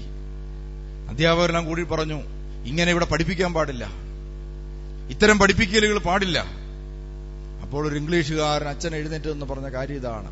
ആയിരത്തി ഇരുന്നൂറ് കുട്ടികൾക്ക് വേണ്ടി സഭയുടെ ബൈബിൾ ഒരിക്കലും മാറ്റി എഴുതാൻ പറ്റുകയില്ല. നിങ്ങൾ മാറുകല്ലാതെ മാർഗമില്ല പ്രിയമുള്ളവര് ആയിരത്തി ഇരുന്നൂറോളം കുട്ടികളിൽ ഒരു നല്ല ശതമാനം കുട്ടികൾ കൈയുയർത്തി ഇങ്ങനെ തീരുമാനമെടുത്തു. ഞങ്ങൾ ഇനി പാശ്ചാത്യ സംസ്കാരമനുസരിച്ചല്ല ജീവിക്കുന്നത്. ഞങ്ങൾ യേശുക്രിസ്തുവിന്റെ വചനമനുസരിച്ച് ജീവിക്കും. ബൈബിൾ അനുസരിച്ച് ജീവിക്കാൻ ഞങ്ങൾ തീരുമാനമെടുക്കുന്നു. അപ്പൊ നഷ്ടപ്പെട്ടു പോയ വിശ്വാസം തിരിച്ച് ആ സമൂഹത്തിലേക്കൊക്കെ വരാൻ തുടങ്ങി. എപ്പോഴാണ് വരാൻ തുടങ്ങിയത്? ഇതാ ഫലപ്രദമായ ദൈവവചന ശുശ്രൂഷകൾ ആരംഭിച്ചപ്പോൾ ഇതാ നഷ്ടപ്പെട്ടു പോയ വിശ്വാസം അവിടെ കരുപിടിപ്പിക്കാൻ. ഇരുന്നൂറ്റമ്പത് മുന്നൂറോളം വരുന്ന സായിപ്പന്മാര് അവിടെ തിരുവചനങ്ങൾ കേൾക്കാൻ തുടങ്ങുന്നു. ഇത് തമാശായി ചിന്തിച്ചിരുന്നവർ തിരുവചനങ്ങൾ കേൾക്കാൻ തുടങ്ങുന്നു. എപ്പോഴാണ്? ഫലപ്രദമായി സുവിശേഷ പ്രഘോഷണം നടന്നപ്പോഴാണ് വിശ്വാസം ജനത്തിന്റെ മധ്യത്തിലേക്ക് വ്യാപിച്ചത് പ്രിയമുള്ളവരെ. അങ്ങനെയാണെങ്കിൽ നമ്മുടെ വ്യക്തിഗത ജീവിതത്തിലെ ഇതാ അനുഗ്രഹങ്ങൾക്കും വിശ്വാസരാഹിത്യത്തിനും കാരണം ഫലപ്രദമായ രീതിയിൽ ദൈവത്തിന്റെ വചനം നമ്മൾ സ്വീകരിക്കാത്തതാണെന്ന് നമ്മൾ മനസ്സിലാക്കണം. അതുകൊണ്ട് നമുക്ക് എങ്ങനെയാണ് ഫലപ്രദമായ രീതിയിൽ ദൈവാനുഗ്രഹം കടന്നു വരുന്നതെന്ന് ചിന്തിക്കാം. നമുക്കറിയാം അപ്പോസ്തോല പ്രവർത്തികളിൽ പത്താം അധ്യായം നമ്മൾ വായിക്കുമ്പോൾ കൊർണേലിയൂസ് എന്ന് പറയുന്ന ഒരു ശതാധിപനെ കുറിച്ച് നിങ്ങൾ കേട്ടിട്ടുണ്ട്. അദ്ദേഹം ഒരു വിജാതീയനാണ്. ഇനി നമുക്ക് വായിക്കാം. രണ്ടു മുതലുള്ള വചനം. അവനും കുടുംബവും ദൈവഭയവും ഭക്തിയും ഉള്ളവരായിരുന്നു. അവൻ ജനങ്ങൾക്ക് ഉദാരമായി ദാനധർമ്മം ചെയ്യുകയും ദൈവത്തോട് നിരന്തരം പ്രാർത്ഥിക്കുകയും ചെയ്തു പോകുന്നു രണ്ട് പ്രത്യേകത മാത്രമേ കൊർണേലിയോസിന് എടുത്തു കാണിക്കുന്നുള്ളൂ. പല പ്രത്യേകതകൾ കാണാം. എന്തൊക്കെയാണ്? ഒന്ന് അവൻ ജനങ്ങൾക്ക് ഉദാരമായി ധർമ്മം കൊടുത്തിരുന്ന ആളാണ്. രണ്ട് നിരന്തരം പ്രാർത്ഥിച്ചിരുന്ന ദൈവഭക്തനായ മനുഷ്യനാണ്. പ്രിയമുള്ളവരെ നമ്മൾ ഈ ദേവാലയത്തിലേക്കൊക്കെ വന്ന് നമ്മൾ പലപ്പോഴും നോക്കിയാൽ കാണാൻ സാധിക്കുന്ന കാഴ്ചയുണ്ട്. ഈ ദേവാലയത്തിൽ എത്രയോ മതത്തിൽപ്പെട്ട എത്രയോ സഭയിൽപ്പെട്ട ആളുകളാണ് വരുന്നത്. അതിൽ ഇതാ നമുക്കറിയാം മറ്റു മതവിശ്വാസികളാണെങ്കിൽ പോലും അവർ ദൈവഭക്തിയോടെ കണ്ണുനീരോടെ പ്രാർത്ഥിക്കുന്നത് കാണാൻ സാധിക്കും. രണ്ട് ഇവിടെ പറയുന്നത് എന്താണ്? അവർക്ക് ദാനധർമ്മം ചെയ്തിരുന്ന ആളാണ് കൊർണേലിയൂസ്. പക്ഷേ അയാൾ യഥാർത്ഥ വിശ്വാസം സ്വീകരിച്ച ആളല്ല. യഥാർത്ഥ ഇസ്രയേലിനല്ല യഹൂദനല്ല. പക്ഷേ അയാളുടെ ജീവിതത്തിൽ രണ്ട് പ്രത്യേകത ഉണ്ടായിരുന്നു. ഒന്ന് അയാൾ പ്രാർത്ഥിക്കുമായിരുന്നു ദൈവത്തോട്. അപ്പൊ ദൈവവിശ്വാസമുള്ള ആളായിരുന്നു. രണ്ട് അയാൾ ദാനധർമ്മങ്ങൾ ചെയ്തിരുന്നു. അങ്ങനെ അപ്പോസോലന്മാരുടെ കാലത്ത് ഒരു സ്ഥലത്ത് ജീവിച്ചിരുന്ന ഒരു സാധാരണ മനുഷ്യൻ. ആ മനുഷ്യന്റെ ജീവിതത്തിലേക്ക് പ്രത്യേകമായ ചില കൃപകൾ കടന്നു വരികയാണ്. അതാണ് ഞാൻ പറഞ്ഞത്. ഒരു മനുഷ്യന്റെ ജീവിതത്തിലേക്ക് ദൈവകൃപ അയാളെ തേടി ചെല്ലുന്ന ചില അവസരങ്ങളുണ്ട്. അതെങ്ങനെയാണ്? അതാണ് നമ്മളിവിടെ കാണാൻ പോകുന്നത്. വായിക്കാം. ഒരു ദിവസം ഏതാണ്ട് ഒമ്പതാം മണിക്കൂറിൽ കൊർണലിയോസ് എന്ന് വിളിച്ചുകൊണ്ട് ഒരു ദൈവദൂതൻ ആഗതനാകുന്നത് ഒരു ദർശനത്തിൽ അവൻ വ്യക്തമായി കണ്ടു. ഭയവിഹ്വലനായി ഉറ്റുനോക്കിക്കൊണ്ട് അവൻ ചോദിച്ചു പ്രഭു ഇതെന്താണ്? ദൂതൻ പറഞ്ഞു നിന്റെ പ്രാർത്ഥനകളും ദാനധർമ്മങ്ങളും ദൈവസന്നിധിയിൽ നിന്നെ അനുസ്മരിപ്പിച്ചിരിക്കുന്നു. പ്രിയമുള്ളവരെ സ്വർഗത്തിൽ നിന്ന് അപ്പോല പ്രവൃത്തി പറയുകയാണ്. ഇവൻ ഇങ്ങനെ ദാനധർമ്മമൊക്കെ ചെയ്യും. കൈ കിട്ടുന്ന പൈസയൊക്കെ പാവപ്പെട്ടവർക്ക് കൊടുക്കും. അത് നല്ലതാണെന്ന് അവന്റെ മനസ്സിൽ തോന്നുന്നുണ്ട്. എനിക്ക് ദൈവം തന്നു. മറ്റുള്ളവന് ഞാൻ കൊടുക്കണം. അവന്റെ കയ്യിലിരിക്കുന്ന പണത്തിൽ ഒരു പങ്ക് അവൻ മറ്റുള്ളവർക്ക് ദാനമായി കൊടുത്തുകൊണ്ടിരുന്നു. അതോടൊപ്പം അവൻ ഇരുന്ന് പ്രാർത്ഥിക്കുമായിരുന്നു. ദൈവമേ എന്നെ അനുഗ്രഹിക്കണം. ഞാൻ ബലഹീനാണ് പാപിയാണ് എന്ന് പറഞ്ഞുകൊണ്ട് പ്രാർത്ഥിച്ചുകൊണ്ടിരുന്നു. പ്രിയമുള്ളവരെ ഇത്തരം പരിപാടികൾ നടത്തിക്കൊണ്ടേയിരുന്നു. ദർശനങ്ങൾക്ക് വേണ്ടി അവൻ പ്രാർത്ഥിച്ചിട്ടില്ല. പ്രവചനങ്ങൾക്ക് വേണ്ടി പ്രാർത്ഥിച്ചിട്ടില്ല. ദിവ്യ അനുഭവങ്ങൾക്ക് വേണ്ടി അവൻ പ്രാർത്ഥിച്ചിട്ടില്ല. അത്തരം ധ്യാനങ്ങളൊന്നും കൂടിയിട്ടില്ല. രണ്ടേ രണ്ട് കാര്യം ചെയ്തു. പള്ളി ഒന്ന് പ്രാർത്ഥിക്കുമായിരുന്നിരിക്കണം ഒരുപക്ഷെ. അല്ലെങ്കിൽ വീട്ടിൽ നിന്ന് പ്രാർത്ഥിക്കുമായിരിക്കും എന്താണെന്ന് നമ്മൾ വ്യക്തമല്ല ഇവിടെ. എന്തായാലും അവൻ പ്രാർത്ഥിക്കുന്ന മനുഷ്യനായിരുന്നു. രണ്ട് മറ്റുള്ളവനോട് സഹാനുഭൂതിയുള്ള ദൈവസ്നേഹമുള്ള ഹൃദയമുള്ള മനുഷ്യനായിരുന്നു. ഈ രണ്ട് പ്രത്യേകത അവനുണ്ട്. അതുകൊണ്ട് എന്ത് സംഭവിച്ചു? സ്വർഗത്തിൽ നിന്ന് ഒരു മാലാക ഇറങ്ങി വന്ന് അവന്റെ മുമ്പിൽ പ്രത്യക്ഷപ്പെട്ടിട്ട് അവന് ദൈവിക ദർശനം അവന് ദൈവിക വെളിപാട് അങ്ങോട്ട് കൊടുത്തു. എന്നിട്ട് എന്താ പറഞ്ഞത്? നിന്റെ ദാനധർമ്മങ്ങളും പ്രാർത്ഥനകളും ദൈവത്തിന്റെ തിരുസന്നിധിയിൽ അനുസ്മരിക്കപ്പെട്ടിരിക്കുന്നു. അപ്പൊ പ്രിയമുള്ളവരെ ഒരു വ്യക്തിയുടെ ജീവിതത്തിലേക്ക് ദൈവാനുഗ്രഹം കടന്നു വരുന്ന രണ്ട് മാർഗങ്ങളാണുള്ളത്. ഒന്ന് അവനവന്റെ ജീവിതത്തിൽ മനസ്സറിഞ്ഞ് തന്റെ സഹോദരനോടുള്ള സ്നേഹത്തെ പ്രതി സ്നേഹത്തിൽ പ്രചോദിതനായി തന്റെ സഹജീവിക്ക് വേണ്ടി ചെയ്യുന്ന ഓരോ നന്മകളും ദൈവതിരുസന്നിധിയിൽ അനുസ്മരിപ്പിക്കപ്പെടുന്ന നന്മകളാണ്. രണ്ട് ഒരു വ്യക്തി അവന്റെ നെഞ്ചു ഞുറുങ്ങി തമ്പുരാനോട് നടത്തുന്ന പ്രാർത്ഥന ദൈവത്തിന്റെ തിരുസനയിൽ അനുസ്മരിക്കപ്പെടുന്ന പ്രാർത്ഥനകളാണ്. അതുകൊണ്ട് പ്രിയമുള്ളവർ ഈ സായാഹ്ന ധ്യാനത്തിൽ നമ്മൾ ഇതാ രണ്ട് കാര്യങ്ങൾ ചെയ്യണം. ഒന്ന് നമുക്ക് അറിയാവുന്ന നമ്മുടെ സഹോ- സഹോദരങ്ങളോ സ്നേഹിതരോ ഉണ്ടെങ്കിൽ നമ്മളുടെ കയ്യിൽ കിട്ടുന്ന പണത്തിന്റെ ഒരു ഭാഗം മാറ്റിവെച്ച് അവർക്ക് വേണ്ടി ദാനധർമ്മങ്ങൾ നമ്മൾ ചെയ്യണം. രണ്ട് നമ്മൾ ദൈവദർശനയിൽ വന്നിരിക്കുമ്പോൾ വർത്താനം പറഞ്ഞിരിക്കാതെ ദൈവദരിസന്നിധിയിൽ എത്താൻ സാധ്യതയുള്ള സമയങ്ങളെല്ലാം പ്രാർത്ഥിക്കുന്നവരായി തീരണം പ്രിയമുള്ളവരെ നമ്മൾ ഈ രാജ്യത്ത് ജീവിക്കുന്ന പ്രത്യേകിച്ച് ഈ കേരളത്തിൽ ജീവിക്കുന്ന നമ്മൾ ക്രൈസ്തവരായ നമ്മൾ വലിയ ഭാഗ്യം ചെയ്തവരാണ്. വലിയ ഭാഗ്യം. കാരണം ഞാൻ ഓർക്കുകയാണ് നമ്മുടെ ആളുകൾ പല ദിവസങ്ങളിലും വിദേശ രാജ്യത്ത് ചെന്നിട്ട് ഏതെങ്കിലും ദേവാലയത്തിന്റെ മുമ്പിൽ തണുപ്പത്ത് കാത്തു നിൽക്കുകയാണ്. എന്തിനാണ്? സായിപ്പന്മാര് പ്രാർത്ഥന ആകപ്പാടെ നാല് സായിപ്പേ കാണത്തുള്ളൂ. ഈ നാല് സായിപ്പ് കുർബാന കഴിഞ്ഞാൽ പിന്നെ ആ അതിനകത്ത് തന്നെ ഇരുന്ന് കള്ളു കുടിക്കും. അതിനകത്ത് തന്നെ കള്ളു കുടിക്കും. എന്നിട്ട് പിന്നെ ഇവർ കുപ്പിയും സാധനമായിട്ട് ഇറങ്ങി പോകുന്നിടം വരെയും നമ്മുടെ ആളുകൾ കാറയിലും മറ്റു ആയിട്ട് കൊടും തണുപ്പിൽ കാത്തിരിക്കും. അത് കഴിഞ്ഞാൽ ആ പള്ളി കിട്ടിക്കഴിഞ്ഞാൽ അത് വൃത്തിയാക്കി ഇതാ മദ്ബഹായൊക്കെ എടുത്ത് ഓടിച്ച് ചെന്ന് മദ്ബഹായും അതുപോലെ സാധനങ്ങളും എടുത്ത് പല സ്ഥലങ്ങളിലായിട്ട് കൂട്ടിവെച്ച് ഒന്നിച്ചു കൂട്ടും. ഒന്നിച്ചു കൂട്ടിയിട്ട് തിരശ്ശീലയെല്ലാം വലിച്ചു കിട്ടും. എങ്ങനെയെങ്കിലും കമ്പിയൊക്കെ വലിച്ചു കെട്ടി തിരശ്ശീലയെല്ലാം വലിച്ചു കിട്ടും. എന്നിട്ട് അവർ അവിടെ പ്രാർത്ഥന ആരംഭിക്കുമ്പോൾ കുർബാനയുടെ സമയം പന്ത്രണ്ടര ഒരു മണി ഒന്നര. കുർബാന ആരംഭിക്കുന്നത്. കണ്ടോ? അപ്പോഴാണ് വ്രതമുട നിന്നെ പ്രസവിച്ചെന്നൊക്കെ പറഞ്ഞ് പാട്ടൊക്കെ തുടങ്ങുന്നത്. കണ്ടോ? നമ്മുടെ ആളുകളൊക്കെ പ്രഭാത പ്രാർത്ഥനയ്ക്ക് എനിക്ക് സത്യത്തിൽ ഈ നാടിനോട് ഒത്തിരി ആത്മനിന്ന തോന്നി. നമ്മുടെ ക്രൈസ്തവരോട് ഒത്തിരി നിന്ന് തോന്നിയ സമയം അതാണ്. നമ്മുടെ ജനം ഒരു ദേവാലയത്തിൽ ഒന്ന് നിന്ന് ആരാധിക്കാനായിട്ട് അവസരം കിട്ടാതെ തണുപ്പത്ത് വിറങ്ങലിച്ച് അവർ കോട്ടുവിട്ട് പുറത്തു നിൽക്കുമ്പോൾ ഇതാ നമ്മുടെ ആളുകൾക്ക് ദേവാലയങ്ങളും ദൈവിക സംവിധാനങ്ങളും തുറന്നു കിടക്കുകയാണ് പ്രാർത്ഥിക്കാൻ. പക്ഷേ ദേവാലയത്തിൽ വരാൻ നമുക്ക് മടി. വന്നാൽ തന്നെ എത്രയും പെട്ടെന്ന് പോകാൻ ആഗ്രഹം. അച്ഛന്റെ പ്രസംഗം അഞ്ചു മിനിറ്റ് നീണ്ടാൽ നമുക്ക് വിഷമം പ്രയാസങ്ങൾ. അതോടൊപ്പം ദേവാലയത്തിൽ വന്നിരുന്നാൽ തന്നെ സായാഹ്ന ധ്യാനത്തിന് വന്നാൽ പോലും എന്ത് ചെയ്യാണ്? വന്നു കഴിഞ്ഞാൽ വർത്താനം പറച്ചിലങ്ങ് തുടങ്ങും. നമ്മളൊക്കെ നിർത്തണം പ്രിയമുള്ളവര്. ഞാൻ ഈ ദേവാലയത്തിൽ വന്ന് കയറിയപ്പം നമ്മുടെ ആളുകൾ സായാഹ്ന ധ്യാനത്തിന് സിനിമ കാണാൻ സീറ്റ് പിടിച്ചിരിക്കുന്നവർ നേരത്തെ പിടിച്ചിട്ടുണ്ടെങ്കിലും അവരെന്ത് ചെയ്തുകൊണ്ടിരിക്കുകയാണ്? വർത്താനം പറഞ്ഞുകൊണ്ടിരിക്കുകയാണ്. വർത്താനം കേൾക്കാം ഇവിടെ. നമ്മൾ ചെയ്യരുത്. നമ്മുടെ ദേവാലയത്തെ പവിത്രമായി കാത്തു സൂക്ഷിക്കണം. അവിടെ പ്രാർത്ഥന ദൈവത്തിന്റെ ആലയമാണ്. പ്രിയമുള്ളവരെ നമ്മൾ ചിന്തിക്കുന്നത് പോലെ ദൈവം യഥാർത്ഥമായി നമ്മുടെ ദേവാലയങ്ങൾ കാലി ചവിട്ടി നിൽപ്പുണ്ട്. നമ്മളത് മനസ്സിലാക്കണം. ഇത് എങ്ങനെയാണ് നിങ്ങളെ പറഞ്ഞ് മനസ്സിലാക്കേണ്ടത് എനിക്ക് അറിഞ്ഞുകൂടാ ഞാൻ മനസ്സിലാക്കുന്ന ഒരു യാഥാർത്ഥ്യമാണ്. ഇതാ ആരാധിക്കാനും പ്രാർത്ഥിക്കാനും വരുന്ന ജനസമൂഹത്തിന്റെ മധ്യത്തിൽ ഇതാ ബലിപീഠത്തിൽ ദൈവം യഥാർത്ഥമായി നമ്മുടെ പ്രാർത്ഥനകളും യാചനകളും സ്വീകരിക്കാൻ സന്നിഹിതനാണ്. അതൊരു യാഥാർത്ഥ്യമാണ്. ഈ യാഥാർത്ഥ്യം ഇതാ നമ്മളൊരു തിരശ്ശീലേക്ക് അപ്പുറത്തുന്നത് പോലെ നമുക്ക് മറിഞ്ഞു കിടക്കുന്ന യാഥാർത്ഥ്യമാണ്. ഇത് തിരിച്ചറിഞ്ഞ് ഒരു ദേവാലയത്തിൽ വന്നു കഴിയുമ്പോൾ ദേവാലയത്തിന്റെ പരിസരത്ത് വന്നു അതുകൊണ്ടാണ് നമ്മുടെ പണ്ട് കാലത്തുള്ള ആളുകൾ നമുക്ക് കാണാൻ സാധിക്കും. ഒരു ദേവാലയത്തിന്റെ പരിസരത്തുകൂടെ കടന്നുപോയാൽ തന്നെ ആ ദേവാലയത്തെ നോക്കി ഇതാ ആദരിച്ച് പ്രാർത്ഥിച്ച് കുരിശും വരച്ച തല ഉണങ്ങിയിട്ടല്ലാതെ പോകലായിരുന്നു അങ്ങനെ അങ്ങനെയാണ് ആദരിച്ചുകൊണ്ടിരുന്നത്. അതുപോലെ നമ്മുടെ ദേവാലയങ്ങൾ പവിത്രമായി നമ്മൾ ആദരി അതിനെ ആദരിക്കാനായിട്ട് തയ്യാറാക്കണം അപ്പൊ കൊർണേലിയൂസ് എന്ന് പറയുന്ന മനുഷ്യൻ ഈ രണ്ട് കാര്യങ്ങൾ ചെയ്തിരുന്നു. ഒന്നവൻ പ്രാർത്ഥിച്ചിരുന്നു ദാനധർമ്മങ്ങൾ കൊടുത്തിരുന്നു. അവന് മാലാക പ്രത്യക്ഷപ്പെട്ടു. എന്നിട്ട് പറഞ്ഞു നിന്റെ ദാനധർമ്മങ്ങളും പ്രാർത്ഥനകളും അനുസ്മരിച്ചിരിക്കുന്നു. അതുകൊണ്ട് നിനക്കൊരു ഭാഗ്യം കിട്ടാൻ പോവുകയാണ്. എന്താണ് ആ ഭാഗ്യം? യോപ്പായിലേക്ക് ആളയച്ച് പത്രോസ് എന്ന് വിളിക്കപ്പെടുന്ന ഷിമിയോനെ വരുത്തുക. ഇതാ പത്രോസിനെ വിളിക്കുക എന്ന് പറഞ്ഞാൽ നിനക്ക് സുവിശേഷം കേൾക്കാനും ദൈവത്തിന്റെ പരിശുദ്ധാത്മാവിനെ സ്വന്തമാക്കാനുമുള്ള പ്രത്യേകമായ കൃപ ഇതാ സ്വർഗം തരാൻ പോകുന്നു. ഓർക്കണം ഒരു സാധാരണക്കാരനായ വിജാതീയനായ ദൈവകൃപയില്ലാത്ത അല്ലെങ്കിൽ ദൈവത്തെ അറിഞ്ഞിട്ടില്ലാത്ത ഒരുപക്ഷെ ജീവിതത്തിൽ എപ്പോഴും വിഗ്രഹാരാധന ചെയ്തിട്ടുള്ളവനായിരിക്കാം കുറവുകളുള്ളവനായിരിക്കാം വീണുപോയിട്ടുണ്ടാകാം.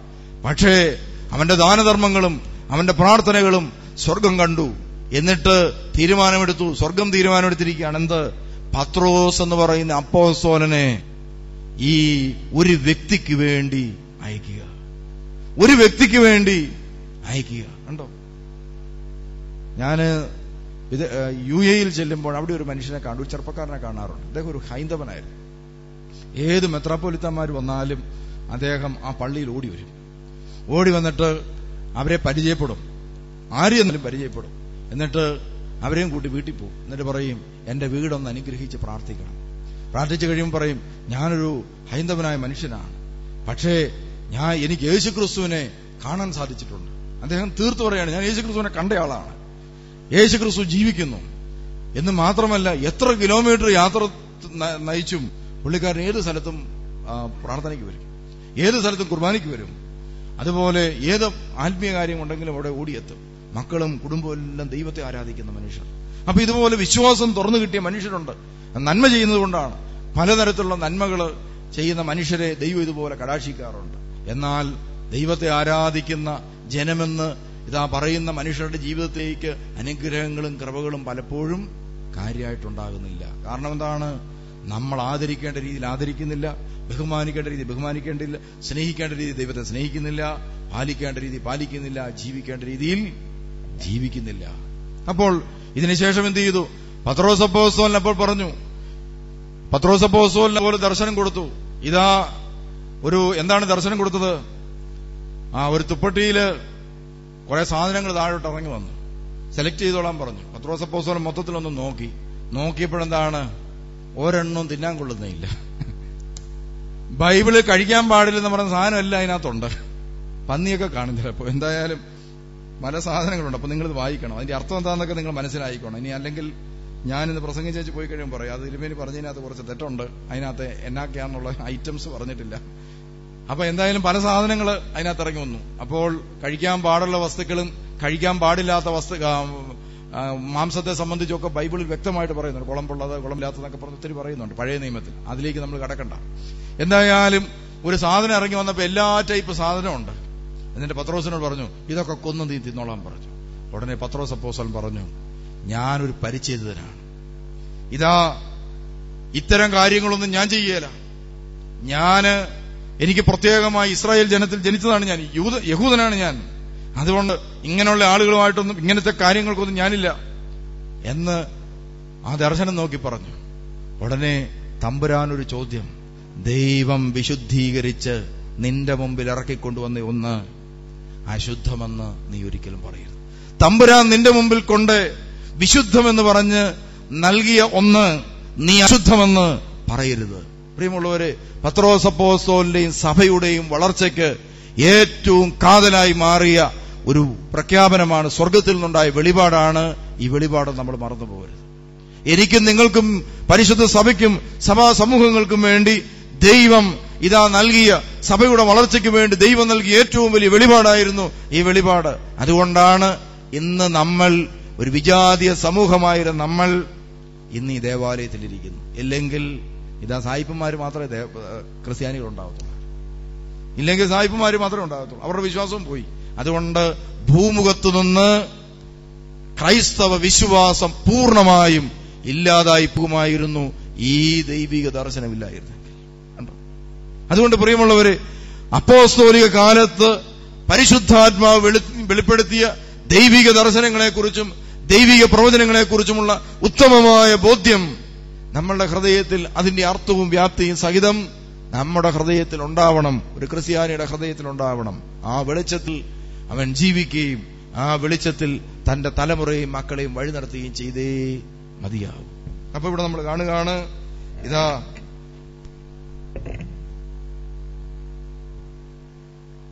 നമുക്ക് അപ്പോസ്വല പ്രവർത്തികളിൽ ആ പതിമൂന്ന് മുതലൊന്ന് ഒമ്പത് മുതലൊന്ന് വായിക്കാം. തിരുവചനം വായിക്കുമ്പോൾ നിങ്ങൾക്ക് കൂടുതൽ ബോധ്യം കിട്ടും. അവർ യാത്ര ചെയ്ത് പിറ്റേ ദിവസം നഗരത്തെ സമീപിച്ചപ്പോൾ പത്രോസ് പ്രാർത്ഥിക്കാൻ മട്ടുപാവിലേക്ക് പോവുകയായിരുന്നു. ഏകദേശം ആറാം മണിക്കൂറായിരുന്നു. അവന് വിശന്നു. കണ്ടോ പ്രാർത്ഥിക്കാൻ പോയപ്പോ വിശപ്പുണ്ടായി. പിന്നെ? എന്തെങ്കിലും ഭക്ഷിക്കണമെന്ന് തോന്നി. അവർ ഭക്ഷണം തയ്യാറാക്കിക്കൊണ്ടിരുന്നപ്പോൾ അവന് ഒരു ദിവ്യാനുഭൂതി ഉണ്ടായി. സ്വർഗം തുറന്നിരിക്കുന്നതും വലിയ വിരിപ്പ് പോലുള്ള ഒരു പാത്രം നാലു കോണിലും പിടിച്ച് ഭൂമിയിലേക്ക് ഇറക്കപ്പെടുന്നതും അവൻ കണ്ടു. ഭൂമിയിലെ എല്ലാത്തരം നാൽക്കാലികളും ഇഴജന്തുക്കളും ആകാശപ്പറവുകളും അതിലുണ്ടായിരുന്നു. ഒരു സ്വരവും അവൻ കേട്ടു. പത്രോസെ എഴുന്നേൽക്കുക. നീ ഇവയെ കൊന്നു ഭക്ഷിക്കുക. പത്രോസ് പറഞ്ഞു കർത്താവെ ഒരിക്കലുമില്ല. മലിനമോ അശുദ്ധമായോ ഒന്നും ഞാൻ ഒരിക്കലും ഭക്ഷിച്ചിട്ടില്ല. രണ്ടാമതും അവൻ ആ സ്വരം കേട്ടു. ദൈവം വിശദീകരിച്ചവ മലിനമെന്ന് നീ കണക്കാക്കരുത്. മൂന്ന് പ്രാവശ്യം ഇങ്ങനെ സംഭവിച്ചു. ഉടൻ തന്നെ പാത്രം ആകാശത്തേക്ക് എടുക്കപ്പെടുകയും ചെയ്തു. താൻ കണ്ട ദർശനത്തിന്റെ അർത്ഥം എന്തെന്ന് പത്രോസ് സംശയിച്ചു നിൽക്കുമ്പോൾ കൊർണലിയൂസ് അയച്ച ആളുകൾ ഷിമയോന്റെ വീട് അന്വേഷിച്ച് പടിവാതിൽക്കൽ നിൽപ്പുണ്ടായിരുന്നു. പത്രോസ് എന്ന് വിളിക്കപ്പെടുന്ന ഷിമയോൻ ഇവിടെയാണോ താമസിക്കുന്നത് എന്നവർ വിളിച്ചു ചോദിച്ചു. പത്രോസ് ദർശനത്തെക്കുറിച്ച് ചിന്തിച്ചുകൊണ്ടിരുന്നപ്പോൾ ആത്മാവ് അവനോട് പറഞ്ഞു ഇതാ മൂന്ന് ഇതാ മൂന്ന് പേർ നിന്നെ അന്വേഷിക്കുന്നു. എഴുന്നേറ്റ് താഴേക്ക് ചെല്ലുക. ഒന്നും സംശയിക്കാതെ അവരോടൊപ്പം പോവുക. എന്തെന്നാൽ ഞാനാണ് അവരെ അയച്ചിരിക്കുന്നത്.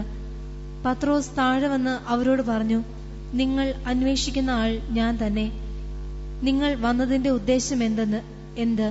അവർ പറഞ്ഞു നീതിമാനും ദൈവഭയമുള്ളവനും യഹൂദ ജനത്തിന് മുഴുവൻ സമതനുമായ കൊർണലിയൂസ് എന്ന ശതാധിപന് നിന്നെ ആളയച്ച് വീട്ടിലേക്ക് കൊണ്ടുചെല്ലണമെന്നും പത്രോസിന് കിട്ടിയിരിക്കുന്ന ഏറ്റവും വലിയ വെളിപാട് എന്താണ് നിന്റെ മുമ്പിലേക്ക് അയക്കപ്പെട്ടിരിക്കുന്നവർ ദൈവത്താൽ അയക്കപ്പെട്ടിരിക്കുന്നവരാണ്. അതാണ് പത്രോസിന് കിട്ടിയ വെളിപാട്.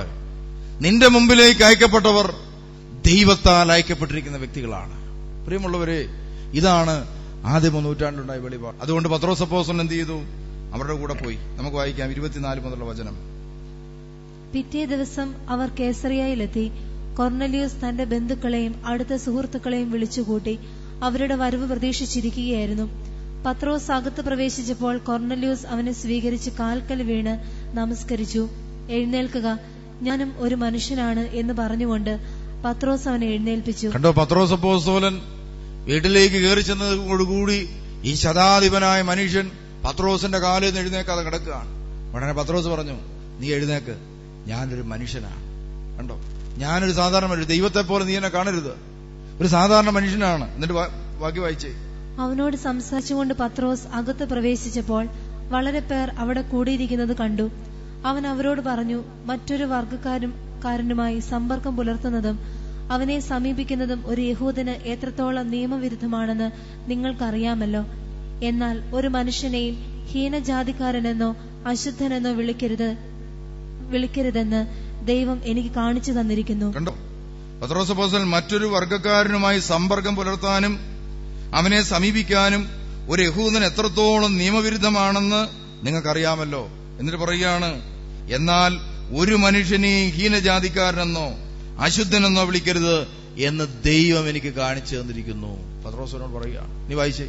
അതിനാൽ നിങ്ങൾ എനിക്ക് ആളയച്ചപ്പോൾ യാതൊരു തടസ്സവും പറയാതെ ഞാൻ വരികയാണ് ചെയ്തത്. എന്തിനാണ് നിങ്ങൾ എനിക്ക് ആളയച്ചതെന്ന് പറയുവിൻ? കൊർണലിയൂസ് മറുപടി പറഞ്ഞു നാല് ദിവസം മുൻപ് ഈ സമയത്ത് വീട്ടിൽ വെച്ച് ഞാൻ ഒൻപതാം മണിക്കൂറിലെ പ്രാർത്ഥന നടത്തുകയായിരുന്നു. പെട്ടെന്ന് തിളങ്ങുന്ന വസ്ത്രങ്ങൾ അണിഞ്ഞ ഒരാൾ എന്റെ മുൻപിൽ പ്രത്യക്ഷപ്പെട്ടു. അവൻ പറഞ്ഞു കൊർണല്യൂസെ ദൈവസന്നിധിയിൽ നിന്റെ പ്രാർത്ഥനകൾ എത്തുകയും ദൈവം നിന്റെ ദാനധർമ്മങ്ങൾ അനുസ്മരിക്കുകയും ചെയ്തിരിക്കുന്നു. അതുകൊണ്ട് യോപ്പായിലേക്ക് ആളയിച്ച് പത്രോസ് എന്ന് വിളിക്കപ്പെടുന്ന ഷിമിയോനെ വരുത്തുക. കടൽ തീരത്ത് തുകൽപ്പണിക്കാരനായ ഷിമിയോന്റെ വീട്ടിലാണ് അവൻ താമസിക്കുന്നത്. പ്രിയമുള്ളവരെ ഇതാ പത്രോസപ്പോസ്തോലന് ഈ വെളിപാട് ലഭിച്ചത് വഴി. പത്രോസപ്പോസ്തോലൻ എന്ത് ചെയ്തു? ഒരു വിജാതീയ സമൂഹത്തിന് വേണ്ടിയുള്ള വെളിപാടിന്റെ തുറവിയായിട്ടത് മാറി. ഇനി പത്രോസപ്പോസൻ പറയാണ് എന്നാ ദർശനം ഉണ്ടെങ്കിലും കുഴപ്പമില്ല. എന്നാ വെളിപാടുണ്ടെങ്കിലും കുഴപ്പമില്ല. ഞാൻ പോവുകയില്ല. ഞാൻ പോവുകയില്ല. എന്റെ മുമ്പിൽ വന്ന ഇവരെ ഞാൻ വീട്ടിൽ കയറ്റുകയില്ല. എന്ന് പറഞ്ഞിരുന്നെങ്കിൽ പ്രിയമുള്ളവരെ ഇന്ന് ഇതാ ആ, സമൂഹത്തിലല്ലാതെ ഇന്ന് ഇത് ആദിമ നൂറ്റാണ്ടിലെ ആ സമൂഹത്തോടു കൂടി ക്രൈസ്തവ സമൂഹം ഇല്ലാതായി പോകുമായിരുന്നു കണ്ടോ? ഇന്ന് നമ്മൾ ഈ കറുത്തു ഇരുണ്ടു ഇരിക്കുന്ന നമ്മളൊക്കെ ക്രൈസ്തവരാകാൻ കാരണം വിജാതീയരെ ഇതാ ദൈവത്തിന്റെ വചനം സ്വീകരിക്കാൻ തക്കവണ്ണമുള്ള വെളിപാട് പോസോലൻ സ്വീകരിക്കുകയും പത്രോസ് പോസോലൻ ധൈര്യത്തോടെ ഇറങ്ങി പുറപ്പെട്ടു. പരിശുദ്ധാത്മാവിന്റെ പ്രചോദനമനുസരിച്ച് ഇറങ്ങി പുറപ്പെട്ടു. അതുകൊണ്ടാണ് പ്രിയമുള്ളവർ ഇന്ന് സഭയുള്ളത്. ഇനി വായിച്ചേ. ഇനിയും അപ്പോസ്തല അതുകൊണ്ടുള്ള പ്രയോജനം ഉണ്ടായത് എന്താണ്? അപ്പോസ്തല പറയുന്നത് പത്ത് നാൽപ്പത്തിനാല് പത്രോസ് ഇത് പറഞ്ഞുകൊണ്ടിരിക്കുമ്പോൾ പത്രോസ് അപ്പോസോലൻ പോയി പ്രസംഗിച്ചു. പത്രോസ് അവരോട് സംസാരിച്ചു തുടങ്ങി. സത്യമായും ദൈവത്തിന് പക്ഷാപതമില്ലെന്നും അവിടുത്തെ ഭയപ്പെടുകയും നീതി പ്രവർത്തിക്കുകയും ചെയ്യുന്ന ആരും ഏത് ജനതയിൽപ്പെട്ടവനായാലും അവിടുത്തേക്ക് സ്വീകാരനാണെന്നും ഞാൻ സത്യമായും അറിയുന്നു. അതുകൊണ്ട് സമാധാനത്തിന്റെ സദ്വാർത്ഥ സകല സകലത്തിന്റെയും കർത്താവായ യേശു ക്രിസ്തുവിലൂടെ വിളംബരം ചെയ്തുകൊണ്ട് തന്റെ വചനം അവിടുന്ന് ഇസ്രായേൽ മക്കൾക്ക് നൽകി. എന്നിട്ട് പറയുകയാണ് യോഹന്നാൻ പ്രസംഗിച്ച സ്നാനത്തിന് ശേഷം ഗലീലയിൽ ആരംഭിച്ച് യൂത മുഴുവനിലും സംഭവിച്ച കാര്യങ്ങൾ നിങ്ങൾക്കറിവുള്ളതാണല്ലോ. നസറേനായ യേശുവിനെ പരിശുദ്ധാത്മാവാനെ ശക്തിയാലും ദൈവം എങ്ങനെ അഭിഷേകം ചെയ്തുവെന്നും അവൻ എപ്രകാരം നന്മ പ്രവർത്തിച്ചുകൊണ്ടും പിശാചിനാൽ പീഡിപ്പിക്കപ്പെട്ടവരെ സുഖപ്പെടുത്തിക്കൊണ്ടും ചുറ്റി സഞ്ചരിച്ചുവെന്ന് നിങ്ങൾക്കറിയാം. ദൈവം അവനോട് കൂടെ ഉണ്ടായിരുന്നു എന്ന് പറഞ്ഞ് പത്രോസപ്പോസോലൻ യേശുവിനെ കുറിച്ച് സുവിശേഷം പ്രസംഗിച്ചു. യേശുവിനെ കുറിച്ച് സുവിശേഷം പ്രസംഗിച്ചു. അവിടെ വിജാതീയനായ കൊർണേലിയൂസിനെയോ കൊർണോലിയൂസിന്റെ വീട്ടിൽ കൂടി വന്നിരുന്ന വിജാതീയരെയോ നിങ്ങൾക്ക് സുവിശേഷം കേൾക്കാൻ ഇതാ യോഗ്യതയില്ല. എനിക്ക് നിങ്ങളോട് പറയാനും സാധ്യമല്ല. അതിനുള്ള അനുവാദമില്ല എന്ന് പറഞ്ഞ് ഇതാ മാറ്റി നിർത്തിയില്ല. തന്റെ അടുക്കിലേക്ക് ഇതാ കൂട്ടിക്കൊണ്ടുവന്ന എല്ലാവരെയും പരിശുദ്ധാത്മാവാണ് കൂട്ടിക്കൊണ്ടുവരുന്നത്. ദൈവമാണ് അയച്ചിരിക്കുന്നതെന്ന് ബോധ്യം പരിശുദ്ധാത്മാവ് നിറഞ്ഞ പത്രോസപ്പോസോലിന്റെ ഉള്ളിൽ ഉണ്ടായിരുന്നു. അതുകൊണ്ട് പ്രിയമുള്ളവരെ അടുത്തത് സംഭവിച്ചെന്താണ് അപ്പോസോല പ്രവൃത്തികൾ പത്ത് നാൽപ്പത്തിനാല് വായിക്കാം. പത്രോസ് ഇത് പറഞ്ഞുകൊണ്ടിരിക്കുമ്പോൾ തന്നെ കേട്ടുകൊണ്ടിരുന്ന എല്ലാവരുടെയും മേൽ പരിശുദ്ധ പത്രോസ് ഇത് പറഞ്ഞുകൊണ്ടിരിക്കെ കേട്ടുകൊണ്ടിരുന്ന എല്ലാവരുടെ മേലും പരിശുദ്ധാത്മാവ് വർഷിക്കപ്പെട്ടു. പിന്നെ? വിജാതിയരുടെ മേൽ പോലും പരിശുദ്ധാത്മാവിന്റെ ദാനം വർഷിക്കപ്പെട്ടതിന് വിജാതീയരായിരിക്കുന്ന മനുഷ്യർ പോലും ദൈവത്തിന്റെ പരിശുദ്ധാത്മാവ് കൊണ്ട് നിറഞ്ഞ് യേശു ദൈവമാണെന്ന ബോധ്യത്തിലേക്ക് വന്നു. പിന്നെ? പത്രോസിനോട് കൂടെ വന്നിരുന്ന പരിചയതരായ വിശ്വാസികൾ വിസ്മയിച്ചു. അവർ അന്യഭാഷകളെ സംസാരിക്കുന്നതും പത്രോസിനോട് കൂടെ വന്നിരുന്ന പരിചയതരുണ്ട് അവരുടെ ചിന്താഗതി എന്താണ്? പരിചയതരായ യഹൂദർക്ക് മാത്രമേ ദൈവമുള്ളൂ. ദൈവാനുഗ്രഹമുള്ളൂ. അവർക്ക് മാത്രമേ അനുഗ്രഹമുള്ളൂ. ഇങ്ങനെ ചിന്തിക്കുന്ന ഒരു വിഭാഗം ആളുകളുണ്ടായിരുന്നു. ഈ പത്രോസപ്പോസോലന്റെ പ്രസംഗം വന്നപ്പോൾ വിജാതിയർ പോലും ഇതാ യഹൂദന്മാരെ പോലെ പരിശുദ്ധാത്മാവ് സ്വീകരിക്കുകയും അവരുടെ ശൈലിയും അവരുടെ ജീവിത രീതിയും അവരുടെ മനോഭാവങ്ങളും പരിശുദ്ധാത്മാവിന്റെ ശക്തിയാൽ ആടിമുടി മാറ്റപ്പെടുകയും ചെയ്യുന്നത് കണ്ട് ആ പരിച്ഛേദരായിരിക്കുന്ന ആളുകൾ പരിച്ഛേദനവാദികളുണ്ട്. ഞങ്ങളാണ് യഥാർത്ഥ യഹൂദർ. ഭൂമിയിൽ വേറെ ആരുമില്ല വിശ്വാസികൾ. എന്ന് ചിന്തിച്ചിരുന്നവർ എന്ത് ചെയ്തു? അത്ഭുതപ്പെട്ടു. പിന്നെ? അവർ അന്യഭാഷകളിൽ സംസാരിക്കുന്നതും ദൈവത്തെ സ്തുതിക്കുന്നതും അവർ കേട്ടു. അപ്പോൾ പത്രോസ് പറഞ്ഞു നമ്മെ പോലെ തന്നെ പരിശുദ്ധാത്മാവിനെ സ്വീകരിച്ച ഇവർക്ക് ജ്ഞാനസ്നാന ജലം നിഷേധിക്കാൻ ആർക്കെങ്കിലും സാധിക്കുമോ?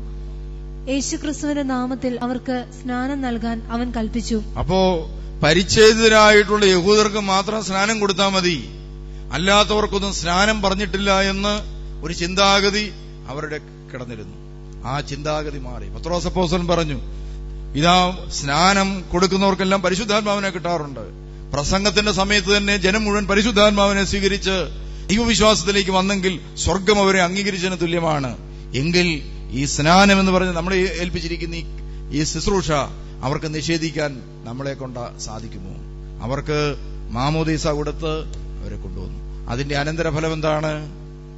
ഇതാ വിജാതീയരായ ആളുകൾ വചനം സ്വീകരിച്ചു.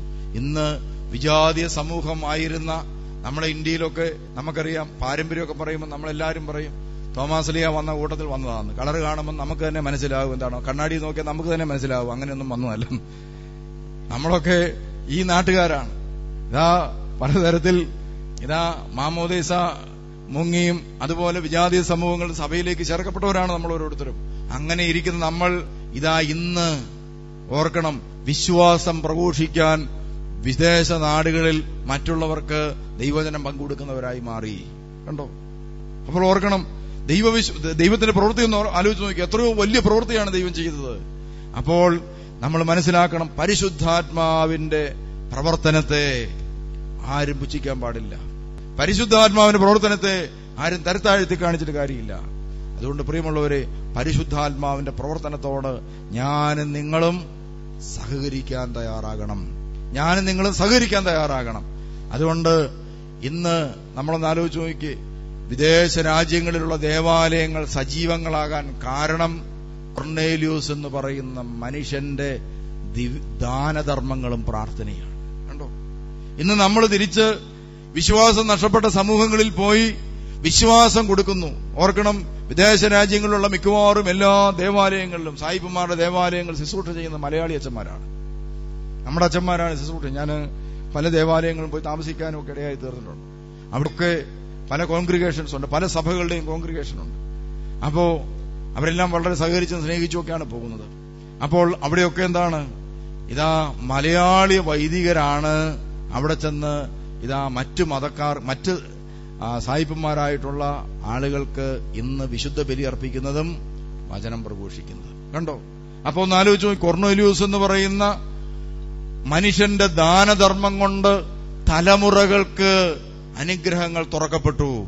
അങ്ങനെയാണെങ്കിൽ പ്രിയമുള്ളവരെ നമ്മൾ ഈ കാലഘട്ടത്തിൽ നന്മ ചെയ്താൽ ദാനധർമ്മങ്ങൾ ചെയ്താൽ അതുപോലെ ദൈവഭക്തിയിൽ ജീവിച്ചാൽ പള്ളിയിൽ പോയി പ്രാർത്ഥിച്ചാൽ അടുത്ത നൂറോ രണ്ടായിരമോ മൂവായിരമോ വർഷത്തിന് വേണ്ടി നമ്മൾ സഭയ്ക്ക് വേണ്ടി സമ്പാദിക്കുന്നതിന് തുല്യമാണ്. കണ്ടോ? നമ്മൾ സമ്പാദിക്കുന്നതിന് തുല്യമാണ്. നമ്മൾ ഇന്ന് ഇവിടെ അർപ്പിക്കുന്ന ഓരോ പ്രാർത്ഥനകളും യാചനകളും തീർച്ചയായിട്ടും ദൈവം സ്വീകരിച്ചിട്ട് തലമുറകൾക്ക് തലമുറകൾക്ക് അത് അനുഗ്രഹമായി മാറും. നമ്മുടെ മക്കളോ മക്കളുടെ മക്കളോ അവരുടെ മക്കളോ ആയിരിക്കാം. നാളെ ഒരുപക്ഷെ ഏതെങ്കിലും രാജ്യത്ത് പോയി ദൈവത്തിന്റെ സുവിശേഷം കൊടുത്ത് അവരെ വിശ്വാസത്തിലേക്ക് കൂട്ടിക്കൊണ്ടുപോരാൻ ഇടയായിത്തീർ അപ്പൊ ഞാൻ ഓർക്കാൻ അവിടെ അങ്ങനെ വൈദികനെ കണ്ട് പരിചയപ്പെട്ടപ്പോൾ ഓരോ വീട്ടിൽ ചെല്ലുമ്പോഴും നമ്മുടെയൊക്കെ ആളുകളുടെ ഓരോ വീടുകളിലൊക്കെ ചെല്ലുമ്പോൾ ക്രൈസ്തവരായ ആളുകളെല്ലാം എല്ലാവരെയും സ്വീകരിക്കും. ഞാൻ ചെന്ന് കഴിഞ്ഞാൽ പല സഭകളിൽപ്പെട്ട ആളുകൾ വന്നു. അവരെല്ലാം എന്നെ സന്തോഷത്തോടെ എന്നിച്ച് പറയുകയാണ് ഈ വൈദികൻ ഇവിടുന്ന് വിദേശ രാജ്യത്ത് നിന്ന് താമസിച്ചു. അദ്ദേഹത്തെക്കുറിച്ച് ഒരു കുറച്ച് ആളുകൾ കൂടി കുറച്ച് സ്ത്രീകളും പുരുഷന്മാരും എല്ലാം കൂടെ എന്നെ കാണാമോ? എന്നിട്ട് പറഞ്ഞു ഞങ്ങളെല്ലാം ഇങ്ങനെ തിരുവചനമൊക്കെ കേട്ട് ഇപ്പം വിശ്വാസമൊക്കെ ആയി കള്ളുകൂടിയൊക്കെ ഉണ്ടായിരുന്നു എല്ലാം നിർത്തി മദ്യപാനമൊക്കെ മാറി കുട്ടികളൊക്കെ പാശ്ചാത്യ സംസ്കാരത്തിൽ ജീവിച്ചിരുന്ന കുഞ്ഞുങ്ങൾ. അവരിപ്പോ പറയാണ് ഞങ്ങൾക്ക് ആ സംസ്കാരമൊന്നും വേണ്ട. പ്രാർത്ഥിക്കണം ദൈവഭക്തിയിൽ ജീവിക്കണം. അതുപോലെ പ്രാർത്ഥനയ്ക്ക് താല്പര്യമില്ലാതെ എപ്പോഴും കമ്പ്യൂട്ടറിന്റെ മുമ്പിൽ ഇരുന്നവർ സന്ധ്യാപ്രാർത്ഥനയാകുമ്പോൾ ഓടി പ്രാർത്ഥിക്കാൻ വരുന്നു. ഇങ്ങനത്തെയൊക്കെ കുട്ടികളിലുള്ള മാറ്റം കണ്ടു കഴിഞ്ഞപ്പോൾ പറയുകയാണ് ഇതാ ആ വൈദികനെ കുറിച്ച് അവരെന്നോട് പറഞ്ഞു സത്യത്തിൽ ആ അച്ഛനെ പ്രസവിച്ച ഉദര ഭാഗ്യമുള്ള ആ പ്രസവിച്ച മാതാപിതാക്കന്മാർ എത്രയോ അനുഗ്രഹിക്കപ്പെട്ടു. ഒന്ന് ആലോചിച്ച് നോക്കി. അപ്പോ ആ മാതാപിതാക്കന്മാർ അത് ആ വൈദികനെ വളർത്തിയ മാതാപിതാക്കന്മാർ അനുഗ്രഹിക്കപ്പെടും അപ്പൊ ഞാൻ പറയുമായിരുന്നു ഒരു വിശ്വാസം എന്ന് പറയുന്ന നിസ്സാര കാര്യമല്ല. അത് നമ്മുടെ ഹൃദയത്തിൽ എന്നും കാത്തു സൂക്ഷിക്കേണ്ട ഒരു നന്മയാണ്. ദൈവം നൽകിയ ദാനമാണ് പ്രിയമുള്ളവരെ. അതുകൊണ്ട് ദൈവവിശ്വാസം നഷ്ടപ്പെട്ടു പോകാതെ തിരുവചനത്തിലുള്ള വിശ്വാസം നഷ്ടപ്പെട്ടു പോകാതെ അത് ലഘൂകരിച്ച് കാണാതെ ദൈവവചനത്തോടും അതുപോലെ പ്രാർത്ഥനയുടെ വിശ്വാസം ഉണ്ടാകണം. അതുപോലെ തന്നെ എത്രയോ സ്ഥലങ്ങളിലാണ് ഈ ദാനധർമ്മങ്ങൾ ചെയ്തവർ അനുഗ്രഹിക്കപ്പെട്ടതായി പറയുന്നത്. പഴയ നിയമത്തിലേക്ക് നോക്കിയാൽ തോബിത്തിന്റെ പുസ്തകം എടുക്കുമ്പോൾ തോബിത്ത് എന്ന് പറയുന്ന മനുഷ്യൻ അദ്ദേഹം നഫ്താലി ആ, ആളാണ്. യഹൂദ സമൂഹത്തിൽ. ഇതാ അയാൾ ദാനധർമ്മം ചെയ്യുന്ന ആളായിരുന്നു. നല്ല മനുഷ്യൻ ഒത്തിരി ഒത്തിരി നന്മകൾ ചെയ്തിട്ടുണ്ട്. പള്ളിയിൽ പോകും ദശാംശം കൊടുക്കും. അങ്ങനെ പല പല കാര്യങ്ങൾ അദ്ദേഹം ചെയ്തിട്ടുണ്ട്. അദ്ദേഹം ചെയ്ത കാര്യങ്ങളൊക്കെ ഇവിടെ എഴുതിയിട്ടുണ്ട്. തോപിത്തിന്റെ പുസ്തകത്തിൽ ഒന്നാം അധ്യായം അഞ്ചു മുതലുള്ള വാക്യം.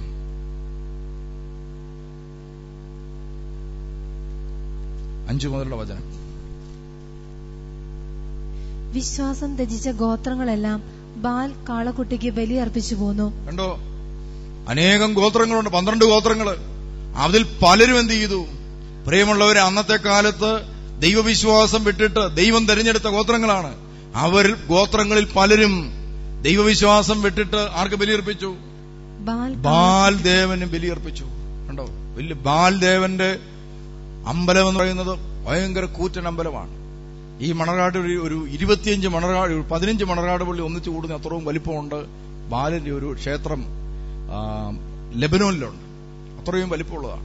അതിന്റെ തൂണുകൾക്ക് ഇതിന്റെ ഒരു മൂന്ന് തൂണുകളുടെ വലിപ്പമുണ്ട്. എനിക്ക് തോന്നുന്നു ഈ പള്ളിയുടെ അത്രയും വീതിയുള്ള മതിലുകളാണ്. കരിങ്കൽ ഒറ്റ കരിങ്കല്ല് തീർത്ത വലിയ വലിയ ലോറിയേക്കാളും വലിപ്പമുള്ള കല്ലുകൾ കൊണ്ടാണ് അതിന്റെ മതിലുകൾ തീർത്തിരിക്കുന്നത്. വലിയ മാർബിൾ മാർബിളുകൾ കൊണ്ട് ഗ്രാനൈറ്റ് കല്ലുകൾ ഇതുപോലുള്ള ഉരുണ്ട വലിയ പൊക്കങ്ങളുള്ള ഗ്രാനൈറ്റ് കല്ലുകൾ ഒറ്റ കല്ലിലാണ് അതിന്റെ തൂണുകൾ തീർത്തിരിക്കുന്നത്. അങ്ങനെ അതിമനോഹരമായി കൊത്തിയുണ്ടാക്കിയ ആ സ്ഥലത്താണ് ബാലിന്റെ ദേവന് ബലിയർപ്പിച്ചിരുന്നതും ഒരുപക്ഷെ നരബലിയൊക്കെ അർപ്പി- അർപ്പിച്ചിട്ടുണ്ടാകും ഇന്ന് തകർന്ന് തരിപ്പണമായി കിടക്കുകയാണ് അതൊക്കെ. പ്രിയമുള്ളവര് അങ്ങനെയുള്ള ദേവാലയങ്ങളും ആകർഷണ കാര്യങ്ങളും കണ്ടപ്പോൾ യഹോവയെ ആരാധിച്ചിരുന്ന ജനം ആ വിശ്വാസം വിട്ടിട്ട് കണ്ണ് കാണാൻ കൊള്ളാവുന്നതിന്റെ പിന്നാലെ കേൾക്കാൻ കൊള്ളാവുന്നതിന്റെ പിന്നാലെ ഇറങ്ങിത്തിരിച്ചു ഇനി വായിച്ചേ. എന്റെ പൂർവപിതാവായ നഫ്താലിയുടെ കുടുംബവും അങ്ങനെ ചെയ്തു. കണ്ടോ? തോബിത്തിന്റെ കുടുംബത്തിൽ നഫ്താലി കുടുംബത്തിലെ ആളുകളും വിശ്വാസം ത്യജിച്ചു.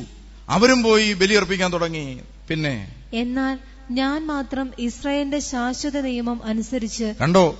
തോബിത്ത് പറയാണ് ഈ പ്രതിസന്ധികൾ മുഴുവൻ ഉണ്ടായിട്ടും ഞാൻ മാത്രം ഇതാ തമ്പുരാന്റെ കൽപ്പനകൾ പാലിച്ചു. പിന്നെ കൂടെ കൂടെ ഉത്സവങ്ങൾ പങ്കുകൊള്ളാൻ ജെറുസലേമിൽ പോയി. പെരുന്നാളുകൾക്ക് കണ്ട ജെറുസലേം ദേവാലയത്തിലേക്ക് പോവുക. അത് ചെയ്തു. പിന്നെ ആദ്യ ഫലങ്ങളും വിളവിന്റെ ദശാംശവും ആദ്യം കത്തിരിക്കുന്ന ആട്ടിൻ രോമവും ബലിപീഠത്തെങ്കിൽ അഹ്റോന്റെ പുത്രന്മാരായ പുരോഹിതന്മാരെ ഞാൻ ഏൽപ്പിച്ചു. കണ്ടോ? പുരോഹിതന്മാർക്ക് ദശാംശം കൊടുക്കുന്ന പരിപാടി ഉണ്ടായിരുന്നു.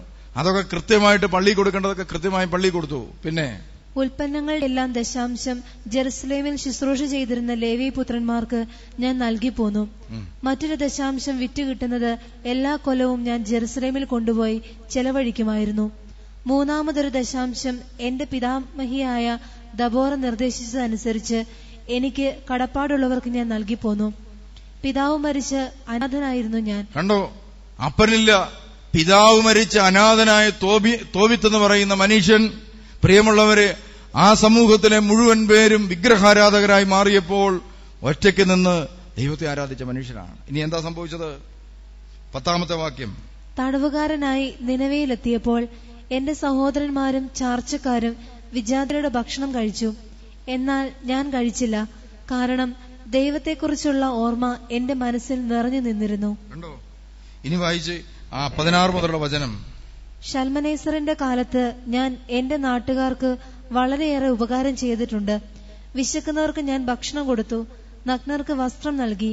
എന്റെ ജനൽ ആരുടെയെങ്കിലും മൃതശരീരം നിലവയുടെ മതിലിന് വെളിയിൽ കിടക്കുന്നത് കണ്ടാൽ ഉടൻ ഞാൻ സംസ്കരിക്കുമായിരുന്നു. യൂതായി നിന്ന് ഒളിച്ചോടി വന്ന ആരെയെങ്കിലും സെന്നാകരീബ് രാജാവ് വധിച്ചാൽ ഞാൻ അവരെ രഹസ്യമായി സംസ്കരിക്കും.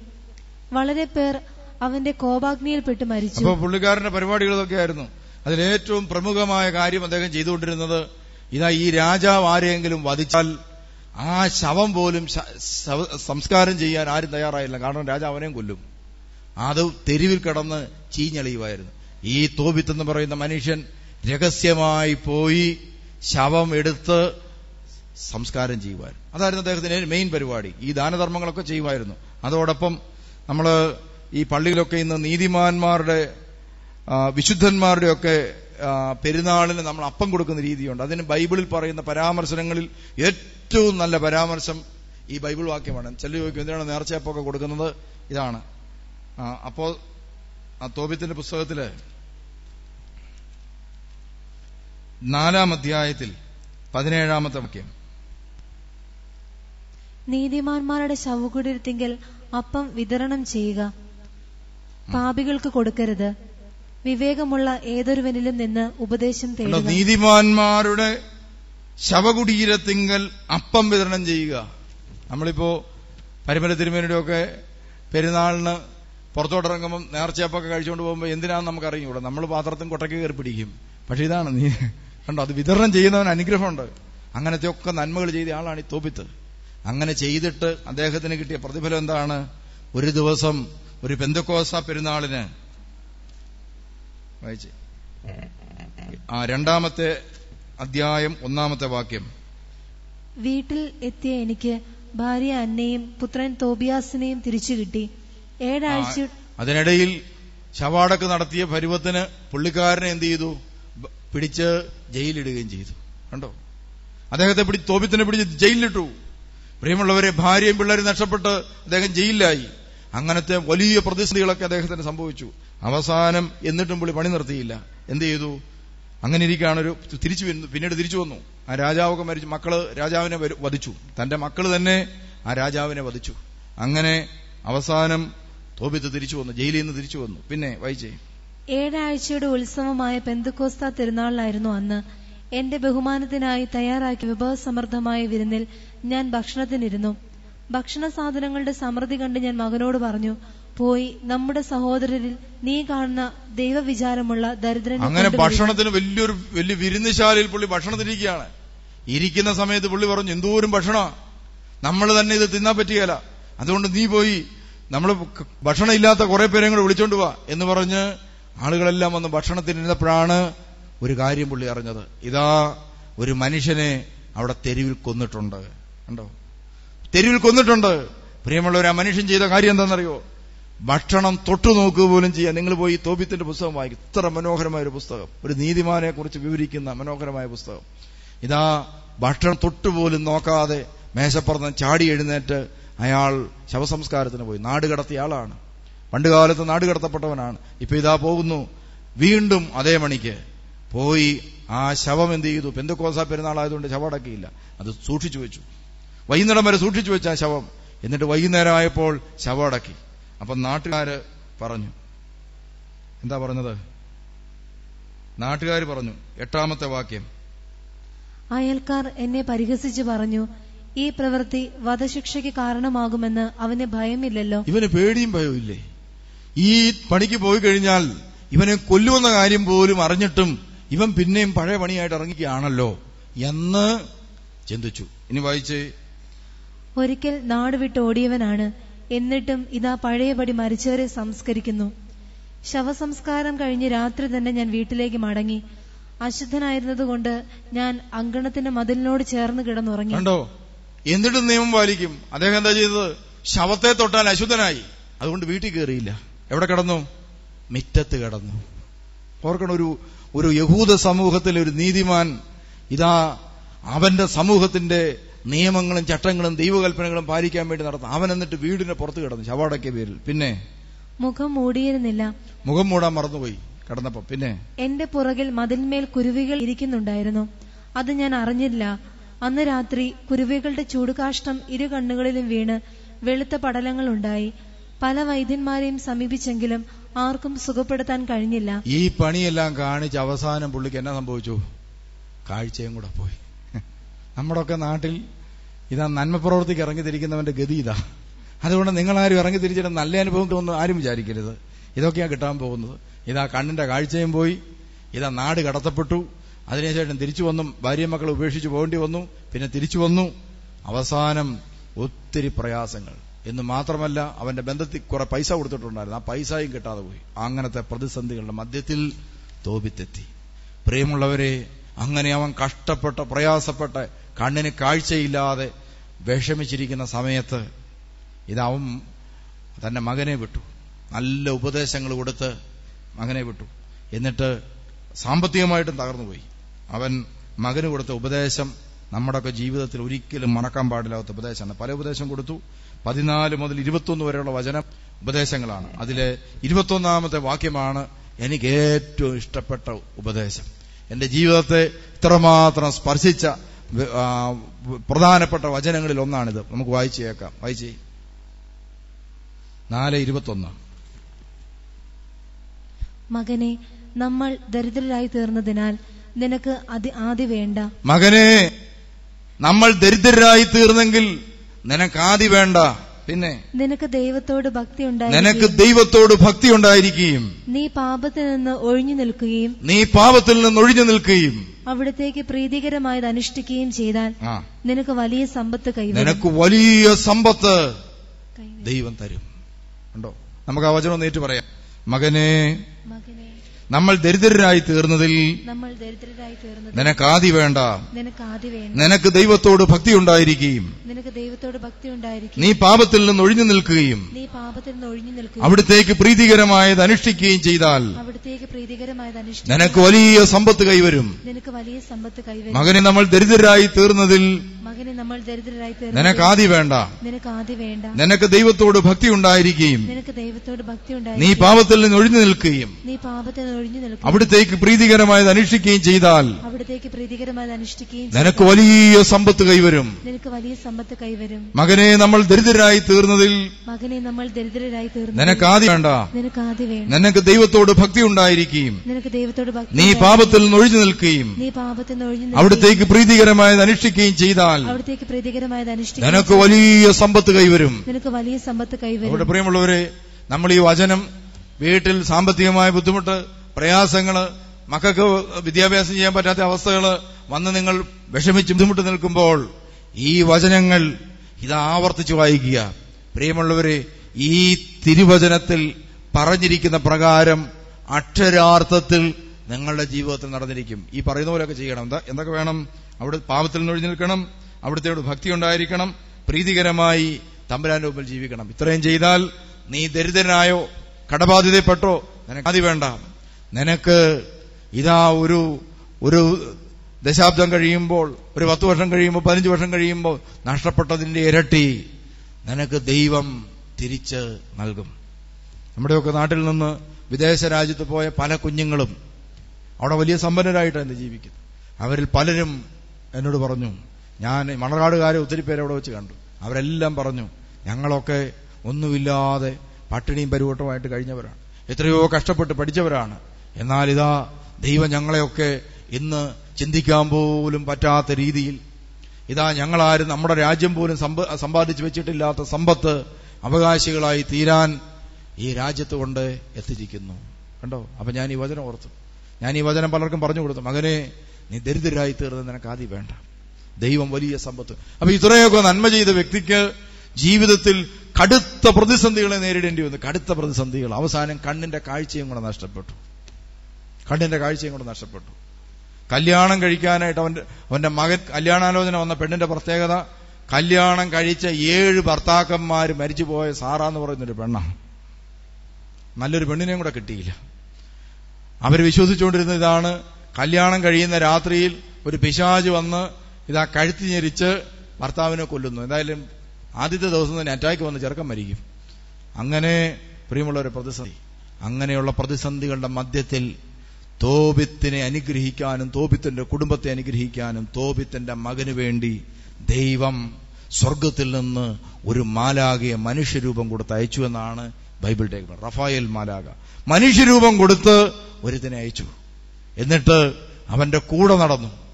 അവന്റെ കൂടെ നടന്ന് അവൻ അനുഗ്രഹങ്ങൾ പകർന്നു കൊടുത്തു. അനുഗ്രഹങ്ങളുടെ രഹസ്യങ്ങൾ പറഞ്ഞു കൊടുത്തു. അവസാനം അവന്റെ കുടുംബം അനുഗ്രഹിക്കപ്പെടുവോളും ആ മാലാക അവന് കൂട്ടും കാവലുമായി നിന്നിട്ട് അവസാനം മാലാകയോട് യാത്ര പറയുന്ന സമയത്ത് ഇതാ തോപിത്ത് പറഞ്ഞു മാലാകയ്ക്കും കൊടുക്ക് കുറെ പൈസ.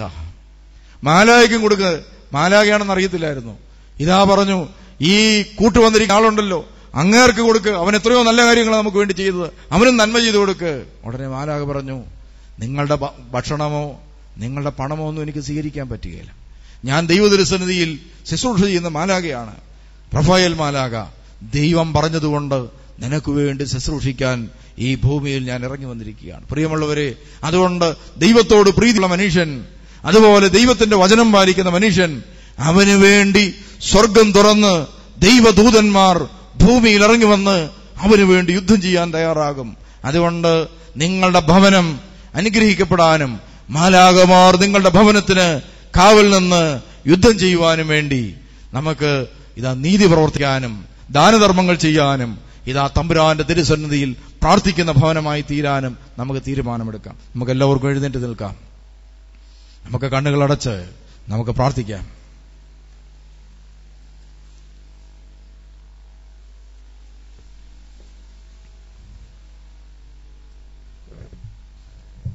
ആദ്യം നമ്മൾ നേരത്തെ പാടിയൊരു ഗാനമുണ്ടല്ലോ സ്ലീഹന്മാരിൽ ഇറങ്ങി വസിച്ചൊരു പരിശുദ്ധാത്മാവ്. ഈ ഗാനം കണ്ണുകൾ അടച്ച് പരിശുദ്ധാത്മാവിന്റെ ദാനങ്ങളും വരങ്ങളും കിട്ടാൻ വേണ്ടി നമ്മൾ പ്രാർത്ഥിക്കുന്നു. അതിനുശേഷം മാതാവിന്റെ മധ്യസ്ഥ പ്രാർത്ഥനയിലേക്ക് നമ്മൾ കിടക്കുകയാണ്. സ്ലീഹന്മാരിലിറങ്ങി വസിച്ചൊരു പരിശുദ്ധാത്മാവേ നിൻ പ്രിയ സുതരെ ദിവ്യവര താൽ പൂരിതരാകണമേ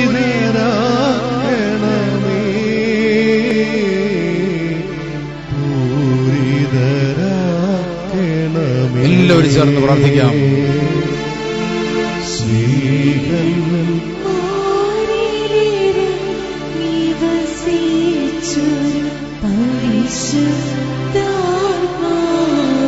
ആദിമ നൂറ്റാണ്ടിൽ ഇറങ്ങി വന്ന പരിശുദ്ധാത്മാവേ ഈ മക്കളെല്ലാം അനുഗ്രഹിക്കണമേ.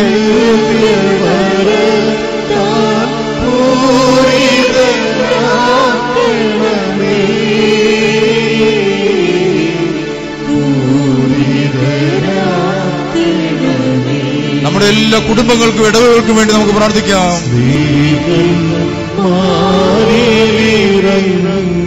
വസിച്ചൊരു പരിശുദ്ധാത്മാവേ നീ പ്രിയ സുതരെ ദിവ്യവര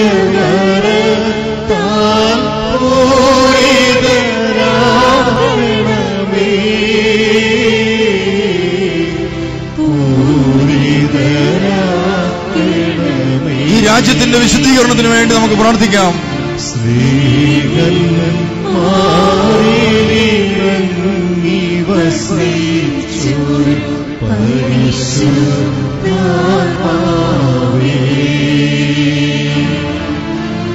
നിൻ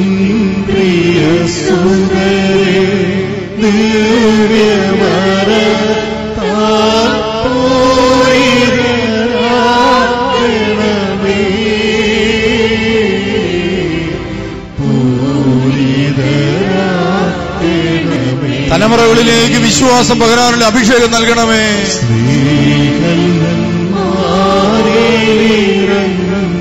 വസിച്ചൊരു പരിശുദ്ധാത്മാവേ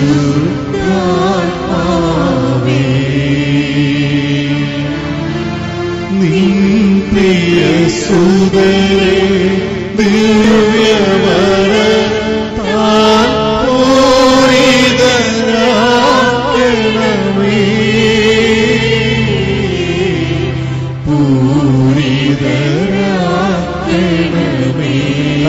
വിശ്വാസം നഷ്ടപ്പെട്ടു പോയ രാജ്യങ്ങളിലേക്കെല്ലാം വിശ്വാസം പകരട്ടെ.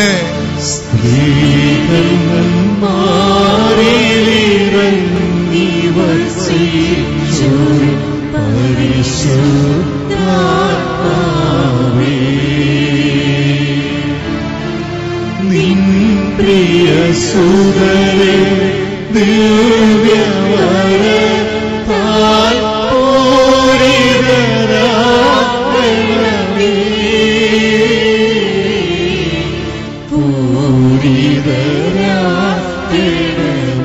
മേഘങ്ങളും കലകങ്ങളും നിലനിൽക്കുന്ന ദേവാലയങ്ങൾ സമാധാനത്തിലും സന്തോഷത്തിലേക്ക് വരാൻ പരിശുദ്ധാത്മാവെ നീ ഇടപെടാൻ വേണ്ടി പ്രാർത്ഥിക്കുന്നു.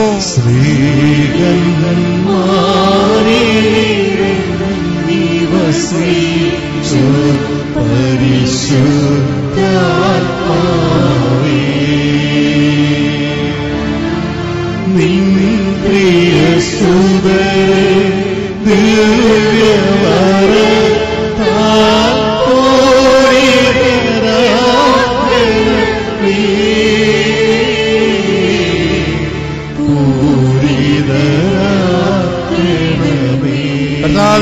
ദേവാലയവും ഈ ദേവാലയത്തിന്റെ പരിസരവും പരിശുദ്ധാത്മാവോട് നിറയാൻ വേണ്ടി പ്രാർത്ഥിക്കുന്നു.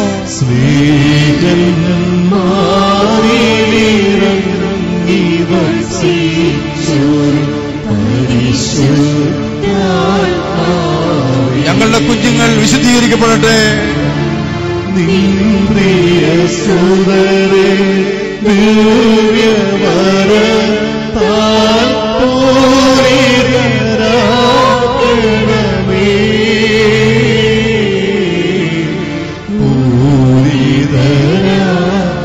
വിദേശ രാജ്യങ്ങളിൽ ആരാധിക്കാൻ ദേവാലയങ്ങളില്ലാതെ കഴിയുന്ന ഞങ്ങളുടെ സഹോദരങ്ങൾക്കും ദൈവമക്കൾക്കും വേണ്ടി ഞങ്ങൾ പ്രാർത്ഥിക്കുന്നു. ശ്രീകൾ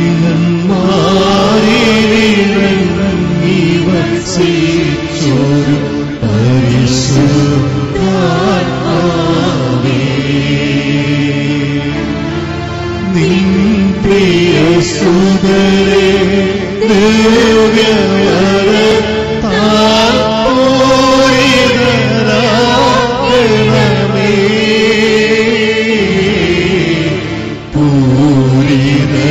പൂരിതരാകണമേ കർത്താവിലൂടെ കടന്നു വന്ന് കണ്ണുനീരോടെ പ്രാർത്ഥിക്കുന്ന രോഗികളുടെ സൗഖ്യത്തിന് വേണ്ടി പ്രാർത്ഥിക്കുന്നു.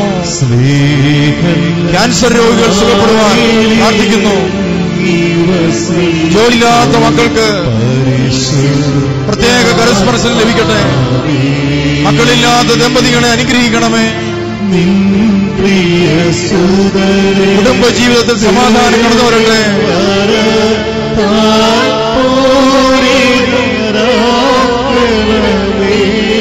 പരിശുദ്ധാത്മാവേ ഈ സമൂഹത്തെ മുഴുവൻ നിറയ്ക്കാൻ വേണ്ടി പ്രാർത്ഥിക്കുന്നു. ദൈവവിശ്വാസം കൊണ്ട് ഈ മക്കൾ ഉച്ചരിക്കപ്പെടട്ടെ. ദാനധർമ്മങ്ങൾ ചെയ്യുവാനായിട്ടുള്ള മനസ്സ് തുറക്കപ്പെടട്ടെ. പൈശാചിക ശക്തികളുടെ സ്വാധീനങ്ങൾ ഞങ്ങളിൽ നിന്നെല്ലാം വിട്ടുപോകട്ടെ. വിദ്വേഷത്തിന്റെ വെറുപ്പിന്റെ വൈരാഗ്യത്തിന്റെ അഹങ്കാരത്തിന്റെ സ്വാർത്ഥതയുടെ പരദൂഷണത്തിന്റെ മ്ലേച്ഛതയുടെ അശുദ്ധിയുടെ ബന്ധനങ്ങൾ ഈ സമൂഹത്തിൽ നിന്ന് ഞങ്ങൾ വിട്ടുപോകട്ടെ കർത്താവേ.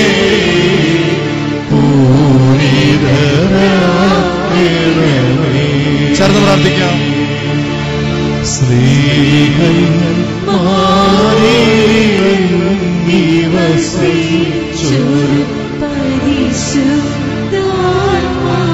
നാളെയും നാളെ കഴിഞ്ഞ് നടക്കുന്ന ധ്യാനത്തിന് വേണ്ടി നമുക്ക് പ്രാർത്ഥിക്കാം.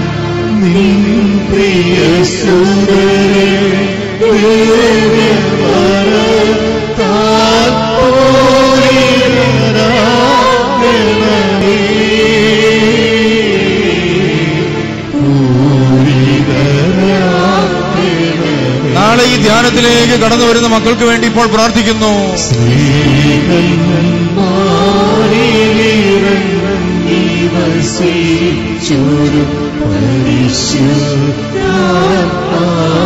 അത്ഭുതമായ രോഗസൗഖ്യം ഉണ്ടാകാൻ വേണ്ടി പ്രാർത്ഥിക്കുന്നു.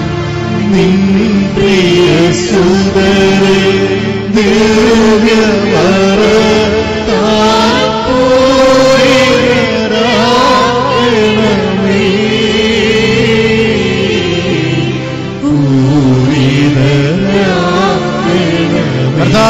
ധ്യാന കേന്ദ്രത്തിന് വേണ്ടി പ്രത്യേകമായി പ്രാർത്ഥിക്കുന്നു. എല്ലാവരും ചേർന്ന് ധ്യാന കേന്ദ്രത്തിന് വേണ്ടി പ്രാർത്ഥിക്കുക.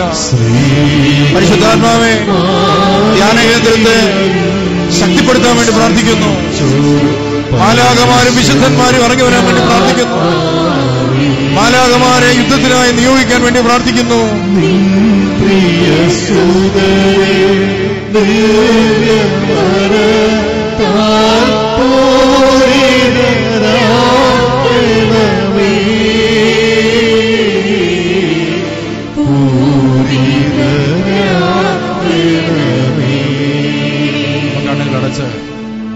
പരിശുദ്ധ ദൈവമാതാവിന്റെ ദിവ്യമാധ്യസ്ഥതയിൽ പ്രാർത്ഥിക്കാൻ പോകുന്ന സമയമാണ്. പരിശുദ്ധ അമ്മയോട് ചേർന്ന് കണ്ണുന്നവരോടെ പ്രാർത്ഥിക്കുന്ന ദൈവമക്കളുടെ മേൽ ആദിമ നൂറ്റാണ്ടിൽ എന്നതുപോലെ വിശ്വാസ ചൈതന്യം പരിശുദ്ധാത്മാവ് വഴി ഭക്ഷിക്കപ്പെടുന്നു എന്നും പരിശുദ്ധ അമ്മയോട് ചേർന്ന് നിന്ന് നാം പ്രാർത്ഥിക്കുമ്പോൾ എത്രയോ വലിയ അനുഗ്രഹങ്ങളാണ് നമ്മളിലേക്ക് ഒഴുകിയിറങ്ങുന്നത്. ഞങ്ങൾക്കല്ല കർത്താവേ ഞങ്ങൾക്കല്ല. അങ്ങയുടെ നാമത്തിനാണ് മുഖത്ത് നൽകപ്പെടേണ്ടത്. എല്ലാം കഴിഞ്ഞ ശേഷം ഞങ്ങൾ പ്രയോജനമില്ലാത്ത ദാസന്മാർ. കടമകൾ മാത്രമേ നിർവഹിച്ചുള്ളൂ എന്ന് പറയുവാൻ ഞങ്ങൾക്ക് എളിമ തരണമേ കർത്താവ് ഞങ്ങൾ കൂടുതലായി എളിമപ്പെട്ട് ദൈവത്തിന്റെ കൃപയ്ക്ക് വേണ്ടി പരിശുദ്ധ അമ്മയോട് ചേർന്ന് ഇപ്പോൾ ആത്മാർത്ഥമായി ആഗ്രഹിച്ച് പ്രാർത്ഥിക്കും. നമുക്ക് വേണ്ടി മാത്രമല്ല സഭയ്ക്ക് മുഴുവനും വേണ്ടി രാജ്യത്തിന് വേണ്ടി ലോകം മുഴുവന്റെയും വിശുദ്ധീകരണത്തിന് വേണ്ടി നമുക്കിപ്പോൾ പ്രാർത്ഥിക്കാം. ദൈവത്തിൻ തായ മാതാവേ നിറയും നയനങ്ങൾ ഞങ്ങൾ കാലം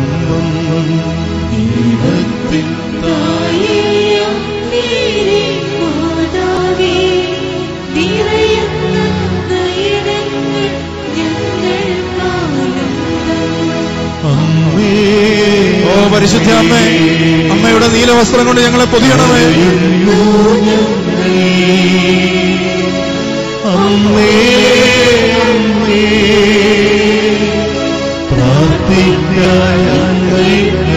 ഈ ദേവാലയവും പരിസരവും മുഴുവനും പരിശുദ്ധാത്മാവിന്റെ ശക്തി കൊണ്ട് നിറയട്ടെ.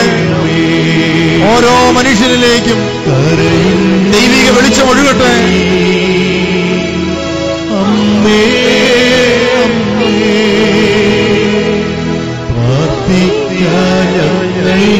പൈശായ സ്വാധീനങ്ങൾ വിട്ടുപോകട്ടെ കർത്താവേ. പാപികൾ ഞങ്ങൾക്കായി കരയുന്നോരമ്മേ നിറയുന്ന നയനങ്ങൾ ഞങ്ങൾക്കാശ്വാസം പാപികൾ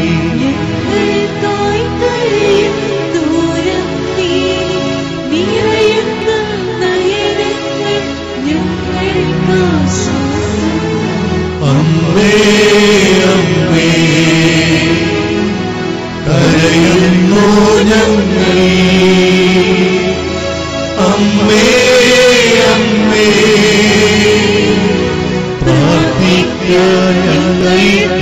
എല്ലാവരും ചേർന്ന് കണ്ണുനീരോടെ നിലവിളിച്ച് പ്രാർത്ഥിക്കാം. അമ്മേ. ഓ പരിശുദ്ധ അമ്മേ. എല്ലാവരും പ്രാർത്ഥിക്കുക.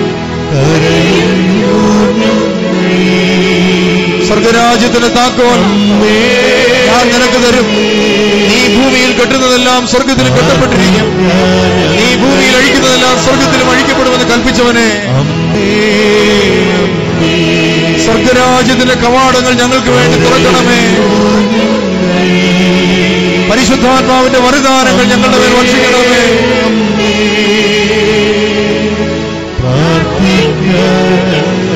ഓരോ ഹൃദയങ്ങളും അനുതാപം കൊണ്ട് നിറയട്ടെ. അന്യായമായി സമ്പാദിച്ച വസ്തുക്കൾ ഉപേക്ഷിക്കാൻ കൃപ കൊടുക്കണമേ.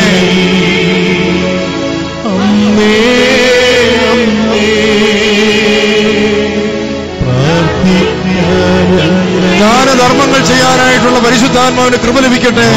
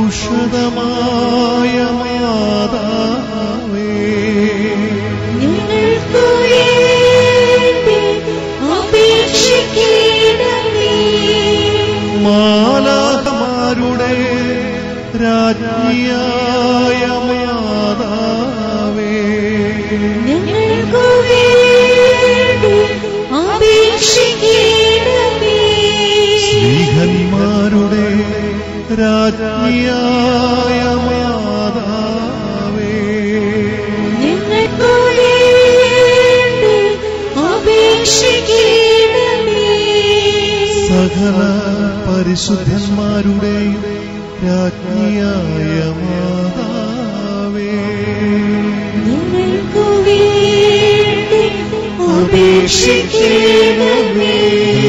മുട്ടുകുത്തി എന്നുകൊണ്ട് ആരോഗ്യം അനുവദിക്കുന്നവർ മുട്ടുകുത്തി എന്നുകൊണ്ട് കർത്താവിനെ ഒന്ന് വിളിച്ച് പ്രാർത്ഥിക്കും.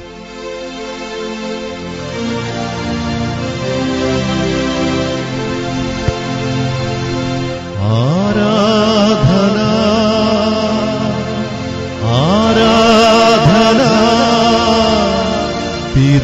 believe.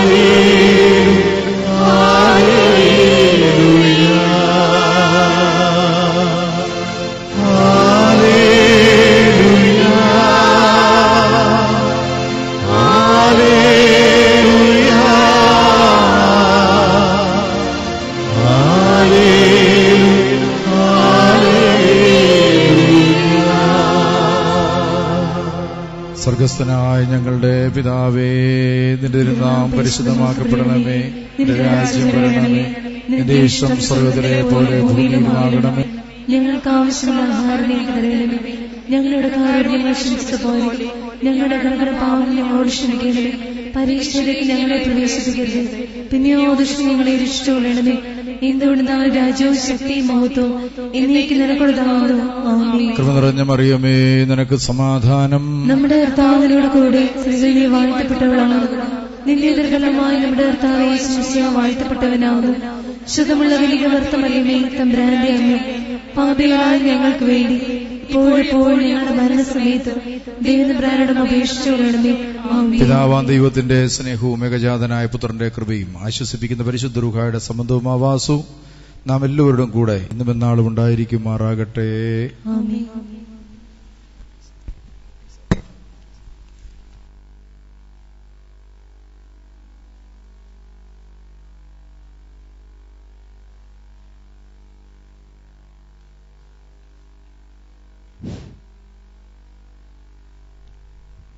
ഒരു നോട്ടീസ് അറിയിക്കുന്നു. ഇവിടെ നടക്കുന്ന സായാഹ്ന ധ്യാനം ഒരേ സമയം തന്നെ ലൈവായി മണ്ടാട് പള്ളിയുടെ വെബ്സൈറ്റിൽ സംപ്രേഷണം ചെയ്യുന്നുണ്ട്. വിദേശത്തുള്ളവർക്കും മറ്റു ഈ സൗകര്യം ഫലപ്രദമായി വിനിയോഗിക്കാവുന്നതാണെന്ന് അറിയിക്കുന്നു. ഇന്നത്തെ ആദ്യത്തെ ദിവസത്തെ സായാഹ്ന ധ്യാനം അവസാനിച്ചിരിക്കുകയാണ്. നാളെയും മറ്റന്നാളും കൃത്യസമയത്തിന് ശുശ്രൂഷ ആരംഭിക്കുന്നതാണ്. എന്റെ ശുശ്രൂഷയ്ക്ക് നേതൃത്വം കൊടുത്ത അഭിമന്യ അതിരിമയുള്ള പ്രത്യേക ഭക്തി ആരൂരും നന്ദിയും കളപ്പാട് വിസന്ദർഭത്തിൽ സന്ദർഭത്തിൽ അറിയിക്കുകയാണ്. നിങ്ങൾക്ക് ഇവിടെ കരകളിലേക്ക് തിരിച്ചു പോകാൻ തക്കവണ്ണം ബസ് സൗകര്യം ക്രമപ്പെടുത്തിയിട്ടുണ്ട്. വണ്ടിയുടെ നമ്പറുകൾ നോക്കി എല്ലാവരും കൃത്യ സ്ഥലത്ത് പോയി കയറിയിരുന്ന് യാത്ര ചെയ്യണമെന്ന് ഓർമ്മപ്പെടുത്തുന്നു. എല്ലാവർക്കും ശാന്തമായി പിരിഞ്ഞു പോകാം.